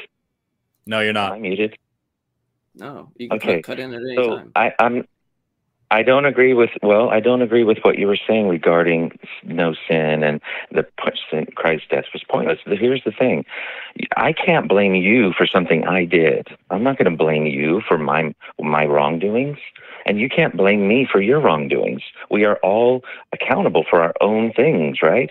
So, so you're blaming God for something a person did, people did. How how can you blame someone else for something that someone else did? You just Yeah, said it was part of his makes no plan. logical you not? You just a minute wait. ago said that it was No, part of the plan. Wait, you wait, wait, wait, said wait, wait. that. No, no, I didn't say. Oh, stop, Bro, stop. I didn't you say are part of the plan. I said he knew. He knew it would happen. It's like this: if you have a child, you know that they're going to do bad things and get in trouble. You're going to punish them, right? You know it's going to happen. So should you not have a child if you want one? You, you want it a child. depends. You're Is he love him. stealing candy from the corner store or raping someone? Because yeah, I could intervene in one or the other, and it would mean different things, right? Like the the it really it boils down to this, Right. James. Does anything ever happen that goes against God's will? Is God all powerful or not? Yes. Millions of things happen that Yeah, go and an all powerful an all powerful parent could have created the child, right? He's waiting. He's he's Right, so waiting. just- you're- he's you're- you're- Is God all powerful? Is there anything that God can't do? Him. Watch. Can you answer? I'm going to ask again. There is things he Is can't do. God all powerful? Is there Okay. anything that God can't no, there do? are things he can't do. Yes, there's things he cannot do. Yes, Like what? there are. Like what? He can't sin. He can't lie. He can't lie, and he can't sin. That's He can't so. be First of all, the lying thing isn't true. He's, he, He does that do several those times in the Bible. wait, wait, But hold on. He can't he's sin and he never can't lie, but he's a free agent. So now it just turns out you can have no options for evil at all, turn out to be an agent and have free will. If you hold to a view where God himself imbues the properties where he can't do evil or sin, and he's just going by his nature, then he can create agents that can just choose between competing goods. God could just make his nature reflective of bunny rabbits and, and rainbows. And I go, oh, I can go sit under the I rainbow could- today, or I I, can could go have a pet with bunch the of- bunny I rabbit. could right? have a- That's choice right. that I can have. Right. And so if you Right. just hold I could- that view, oh my god, for, ugh, Forrest, man, I'm sorry, I can't. No, I can't, just- I can't. I can't. There's the you, you keep painting yourself into a smaller and weirder corner here, James. Oh. God can't sin and God can't lie. First of all, that's not true. He says so himself in the Bible. But we'll, that's the whole of the debate that we'll have for 45 minutes. We've already been on this call for 20 minutes, and we've got another one, and we have five minutes left in the show. Um, the the the but the whole thing. If God can control anything in the world, if God could have made any world that He wants, and this is the one that He chose, He is inevitably at fault for all of it. You say, "Oh, well, if you're a parent, you can do blah blah blah blah blue." Like if you're a parent, you can raise your kids better. You don't just set them free and, oh, well, I guess they raped somebody. I'll punish them later. Like that doesn't make any sense. If if this is all part of the plan, I guess this is the question: is is all of the sin and bad things that happen in the world part of God's plan? Because what you've said a few times is that God doesn't want to make slaves and robots. He wants us all to come to Him freely and admit that we're sinful and everything. So then that logically follows. It seems that you're saying that all the sin and evil and bad shit that humans do in the world is a necessary part of God's overall plan of people coming to him and loving him and all this stuff. Is that is that where we're at? Like am I understanding that at least? It's not necessary. It is happening by people. So then he could have done it otherwise and he didn't. So it falls right back to what I was saying a minute ago. Sin isn't necessary. He just chose it on purpose. He didn't have to have a world where 25 to 30,000 people starve to death every single day. A thousand people an hour starve to death right now. That's a real statistic. God didn't need that world, but he was like, you know, it would be really fucking cool if a bunch of these stupid apes that I made starved to death. If they all died in one of the most painful ways possible for no reason at all, and then also most of them that do so will be praying to the wrong God when they do it, so I get to burn them forever. That would be swell. That's the God you're giving us here. Is a God that didn't have to make No. sin, didn't have to make disease, didn't have to make slavery, didn't have to make pain, but he said, you know what would be really fucking cool is if all that evil shit existed and then he made it. Yeah, it's it's it's just to express. wrong. It's just to express to be an. Then whence agent. cometh evil, James? It's- If God didn't make sin, then where does it come from? If sin isn't necessary, then why is there pain and suffering and disease and slavery and starvation in the world? Why is it here? Why? Yeah. Why does it? Why is there bad things? Why why do people starve to death? Why do kids get cancer? Why why is AIDS a thing? I'll tell you why. Just a moment. Because people make decisions based on their own desires. What for example, decision did somebody made? Wait, Stop. No, I'm not letting you finish that sentence, bro. I am not letting you finish that sentence. What decision did somebody make that led to pediatric cancer? Oh, that that's the sinful nature that the entropy entered into the world. Everything's dying in different ways. We For all die. We only fuck's have a short sake. What the fuck? Everything- And we're You are- right back at the beginning you are where Jewish God didn't rabbi. need sin. We're right back to where we were 10 minutes ago, where we said, Did God need to make sin? And you said, No, sin isn't necessary. God could have made a world where Adam and Eve didn't sin, but he wanted people to come to himself willingly. We're back in a loop where we put the blame back on God. If cancer is caused by sin, which that's fucking disgusting to say in the first place. But if cancer is caused by sin and our sinful nature of entropy and all this shit, couldn't God have made a world where that doesn't exist and all of his needs are still met? Yeah, you- you're literally saying like God couldn't have gone. Okay, Mm-hmm. baby cancer. Maybe I can cross that one off. Yeah, the ba- baby cancer or no Maybe baby cancer. I'm gonna go with list. baby cancer. Baby cancer is the way I want to do it. What a dick! Like, But why God is that who you're the power worshiping? To give them eternal life. God has the power to give those babies eternal life in the new world, on the new Oh, earth. yeah, So- so- yeah, so yeah, here- but all the here's- suffering here's the family, crux of the you issue. See, Here's the that's that's Let me- the, the part you're missing. He so has the then are you willing to say, James? perfectly? Are you willing to say if if if this life doesn't matter and we have the power, God has the power to give us eternal life. Everything matters. Everything matters. Okay, so those those babies dying of cancer, not that big of a deal They because matter. they get eternity in heaven, right? No, it's not a, big It's deal. a big deal. It's a big deal. It's a huge deal, but God will correct it. He has the power to do that. Yeah, this is what you said. of- That's what you said. When though, everything you will be came in here with corrected this bullshit- perfectly. No, no, stop. This is what you said with this bullshit because your whole thing is like you came in. This is why God doesn't intervene, and uh, that that's what the call screener has. You came in, you said the same thing. Is that he'll punish you later? Okay, if you hold some view where you think, in the case that I gave, where the bystander has the ability to stop the the person being essayed, and they go, you know what? I'll wait. I'll let you do it. I'll wait for you to come around the block, and then I'll punch you in the face, or I'll take you to jail. Did they do a good thing? What was the good? What would be a what would be the better thing for them to stop them right away, or would the better thing let me wait and I'll punish you afterwards? Which one's better in your view? He'll, he'll Don't give me a big story. Tell me directly which one is. Don't give me a big story. Tell me directly which one is. I anticipate you're going to do the dodging Perfect move justice you do will be served, play first baseman for the and LA life Dodgers. will be granted to those who. Do you understand? Perfect so justice will will be. be served. Perfect justice. It will be served. Perfect Will justice be. for those who No, are wicked no, and evil No, no, hold and on. want so, to so- rave So and the other, hold on. So the other one's so to answer directly, the other one's better where you wait and punch that person after they essayed them. That's better. I'm asking about this specific example. I see somebody This essaying somebody. I could stop them. No, no, no, no. This- For fuck's sake, listen to me. yeah. Do not. This is why I'm anticipating this. I'm, I'm- I'll God, answer it right now. I know the. I know. you I I'm already know no, the answer. I'm, I'm mute. Yeah, I'm muting you right now. You're gonna fucking listen, right? So, I asked you in this scenario where I come up to somebody and I see somebody uh, essaying somebody, and I go, you know what? I have the ability to stop. It's in my power. I can stop this. I can do it easily, like that. Nope. I'm gonna walk down the street. I'll wait for them to do it. I'll wait for them to get what they want out of it.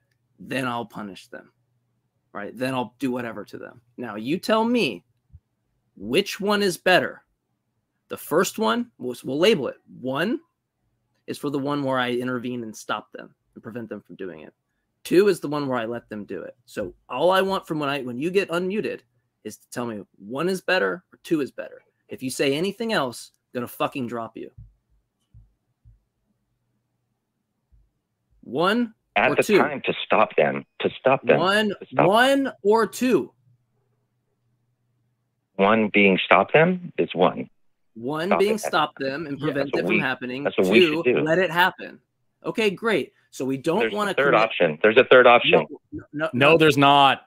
No. It's either I prevent it or I don't prevent it in my power. That's a true dichotomy. Learn basic logic, right? It's not my problem. I'm not here to educate you or give you a lecture on basic logic. You have to go do that yourself. So I'm not gonna I'm not gonna do that for you. So we don't want to equivocate on a. Now it's gonna be harder because I don't think you're gonna understand this. We don't want to equivocate, right? We don't want to have a fallacy. We don't want to commit a fallacy of equivocation, right? When we say that that's the better option, then it's also the better option for any other agent, right? In that scenario. So it's better for God to do that. Now you take a contradictory view. You think it's better in the case of God to do that. So you're equivocating. God isn't good, he's schmud. You're not even using this the right label to describe God. You've changed the subject to schmud, not good. Option. And, and by the way, I want I, in the comments for anybody, nice to have a contradiction counter on this call. Can I say the third option, please? Will you allow me to? Uh, yeah, yeah, yeah. Go ahead and give me the th- Yeah, so the third, the third option, option. Prevent, preventing This it is or the not third preventing option. it. Yeah, give the, The third person option in who a true did the- dichotomy. the Yeah, pers- go ahead. Here's the third. The person who did the wrong asks and repents and asks for forgiveness and want and seriously is so sorry that they That's did it and on will the never do it second again. horn. And they are That's so on the second and then they're forgiven.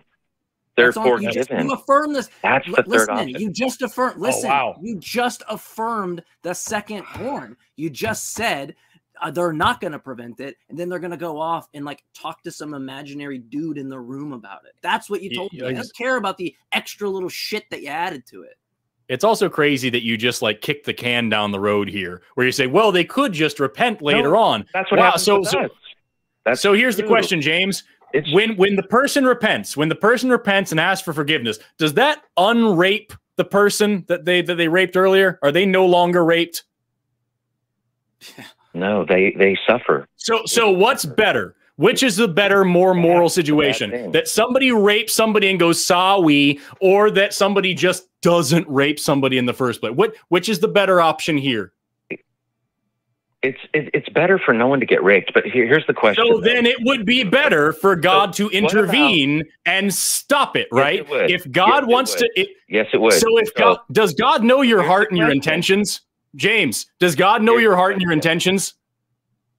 yes, He just said he did actually. Okay, so that. Then if someone no, you don't get to ask the questions. This is our Let fucking show.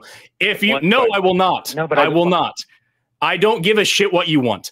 If God sees somebody about to rape somebody and knows their heart and their intentions, he could still intervene and stop it and still have a reason to punish them. Jesus said, if you look at a person with lust, you've committed adultery in your heart and you're just as bad as if you actually went out and had an affair. So God could say, if you decide to rape somebody and start trying to do it, I can stop you right now. This person is now safe. They didn't get hurt. And also, I punish you. He could do both, but instead, he elected to create a world where rape and murder and slavery and starvation and cancer and all the other shit that you're prescribing to sin still happens. He could decide to make a world where nobody ever suffers and everybody is judged evenly and fairly, and he chose not to. He brought suffering into the world on purpose. No matter how you slice it, the blame falls on God. And we're right back where we were 20 fucking minutes ago before you said 13 contradictory things. Do you get away with all your stuff? Why should you get away with all the things you've done? Why? No, but if this is perfect Why- justice, no Why one would you get away with the stuff you've anything. That that nobody knows about. Why should you not not be punished for your wrongs, your immorality? Why not? Why are you are you above being punished? So are you just going to completely ignore the point and move No. on to something else, or do you want to actually try to address what we just That is said? That is my point. God's being patient with you and everyone else. Oh, That is how my point. fucking cute. You should be- hey, j- be sure next time you meet somebody who's lost a child or somebody who's been raped or someone who's been a sufferer of, you know, had a family member go through suicide, just let them know to be patient because God's being patient. That sounds awfully fucking charming. Fuck your God. He's an, he's a monster. He's completely evil no matter how you slice it. And I'm really, really sick of 30 fucking minutes of you making excuses for evil. You wouldn't put up with it from yourself. You wouldn't put up with it from me. You wouldn't put up with it from anybody else. You only make excuses for this God with ridiculous logical contradictions because you've been trained to. And it's gross. If you're not willing to go out into the world and tell every fucking person who's suffering that it's a good thing that they're suffering, you deserve that cancer because somebody 2,000 years ago ate a fucking apple, then you're not being honest with yourself. If you're not willing to go out and tell everybody who's suffering today that it's all part of the plan, it's a necessary part of all of this, God's just being patient and you should be patient too, then you're not being honest with yourself and you're not being honest with us. You're making excuses for an objectively evil worldview and you're tap dancing around the fact that no matter what you put on this, all the blame inevitably goes back to the person who's pulling the strings. God made this world the way he wanted to make it. He could have made any other world any other way, and he picked this one. And anybody who would run a world like this is a fucking sociopath. That's the end of it. And with that, I'll give you the last word and then we'll wrap up the show. I like spicy food. Well, all I'm going to say is I, I, I don't believe I, I don't I don't look at it the way that you just explained or that you described. Secondly, everyone still has an opportunity. God is being patient with you guys too, and me, and everybody else. Fuck him and his patience. Have a great day, James. What an absolutely disgusting worldview. I'm happy that people get to see how far the termites spread, the kind of brain rot that comes with this kind of thinking. If you're willing to say, yeah, well, well, yeah, he could stop the rape, he could stop the murder, he could help the starving children, he could cure cancer, but yeah, he's just patient. He's just patient. Fuck you. yeah, absolutely the, disgusting. The whole, the, the whole thing with like, well, he doesn't need it. It's not necessary. Okay, so wait a second. Um, Mm. I desire to like, I don't know, not get wet, and so I believe umbrellas protect me. I believe that it's raining outside, and I just go walk past the umbrella and stand in the rain. And Forrest, you Mhm. you you tell me I'm being irrational, right? It's your fucking fault. I'm being Exactly. irrational, Yes. right? Yeah. God. It's just it's a very strange thing when you go there and you go, look, God has all these um, he could create these worlds, but he has prevailing reasons for this world with the evil. And then it turns out, well, it's not actually necessary. Okay, so then he's just irrationally adding this thing. Like, isn't it all good being an all rational being? Yeah. I mean, anyway, it's, it's, it's nonsense. Uh, with that, that's the end of our show. Uh, really quickly before we let you go, I got to let you know that we've got the Brick fundraiser that you can still participate in. Uh, you can leave a lasting impression on the atheist community of Austin by participating in this fundraiser. You get a custom engraved brick. Go to tiny.cc slash ACA bricks for more information. Um, you can also contact us if you're curious about the show. You want to learn more. You want to get in contact with one of the hosts. You can uh, go to atheist-community.org. Yeah, you can also write to us at tv at atheist-community.org. Uh, we get emails all the time for different people. Uh, I've got an inbox that I get things sent to. I have never yet responded to a single email because I don't check it very often. I'm sorry, but you can send it. Um, I, I got this one a little while ago. It was uh, this this person wrote in uh, to to point out that uh, in one video in one episode I compared God to the devil, uh, and and but I should know that Mark three twenty nine says that blasphemy is is something that's unforgivable and that Mhm. my soul is in peril and that I should repent. Uh, why the fuck would you think that I hadn't thought about? Do you think that's new information? Do you think I'm gonna be like, oh shit, I Mark Mark said it in to cheat. Just also, by the way, think Jesus ever farted? Do you think Jesus ever farted? He, he it talks about him eating and drinking. Do You think he ever farted? And what? And do you think think, so. that his? I, honestly, do you think they were crazy? Do you think his Probably. farts had magic powers? Because Well, his mean- spit does. He healed a blind man with spit. You could Do you think his fart had magic powers? You could turn him into like uh, into the smell of I don't know lasagna or something. Yeah, he's just fart smell. A lot of your metaphors have been around food. I'm, I'm guessing you're you're wanting some dinner, wanting to get out of here. I am. I am. I. I, I am. I am actually Yeah. very hungry. So yeah. Anyway, no, none of that's blasphemous. Guy who wrote in, none of that. Those are just yes or no questions. If he was a man, then then and he ate and drank, surely, surely he pooed and and and passed gas. I'm just curious. Do, do you think do you think maybe his farts had magic powers? That's what I want to know. Write me an email about it. Or don't. I'm not going to check anyway. and with that, that's our show. Thank you so much for tuning in. Thanks so much for, for being a part of this community. Uh, thank you to our call screeners. Thank you to our mods. Thank you to the crew. Thank you to uh, Armin, who's been our backup and hanging out over here. Uh, thank you so much to Mike for hanging out with me and being my co-host today. Uh, if you're watching the show, thank you so much, no matter who you are. Uh, please call in next time if you're a theist and you want to try to convince us, because we're going on what is this now, 27 seasons? We've Yes. yet to be convinced.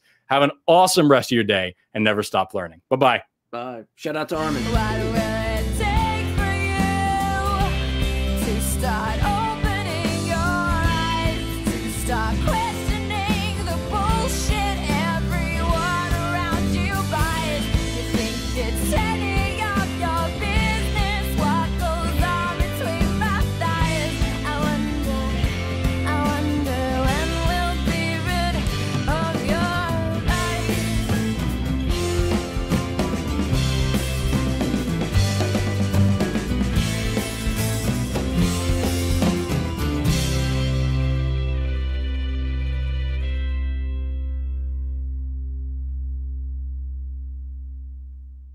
Watch Talk Heathen live Sundays at 1 p.m. Central. Visit tiny.cc slash YTTH and call into the show at 512 991 9242 or connect to the show online at tiny.cc slash call th.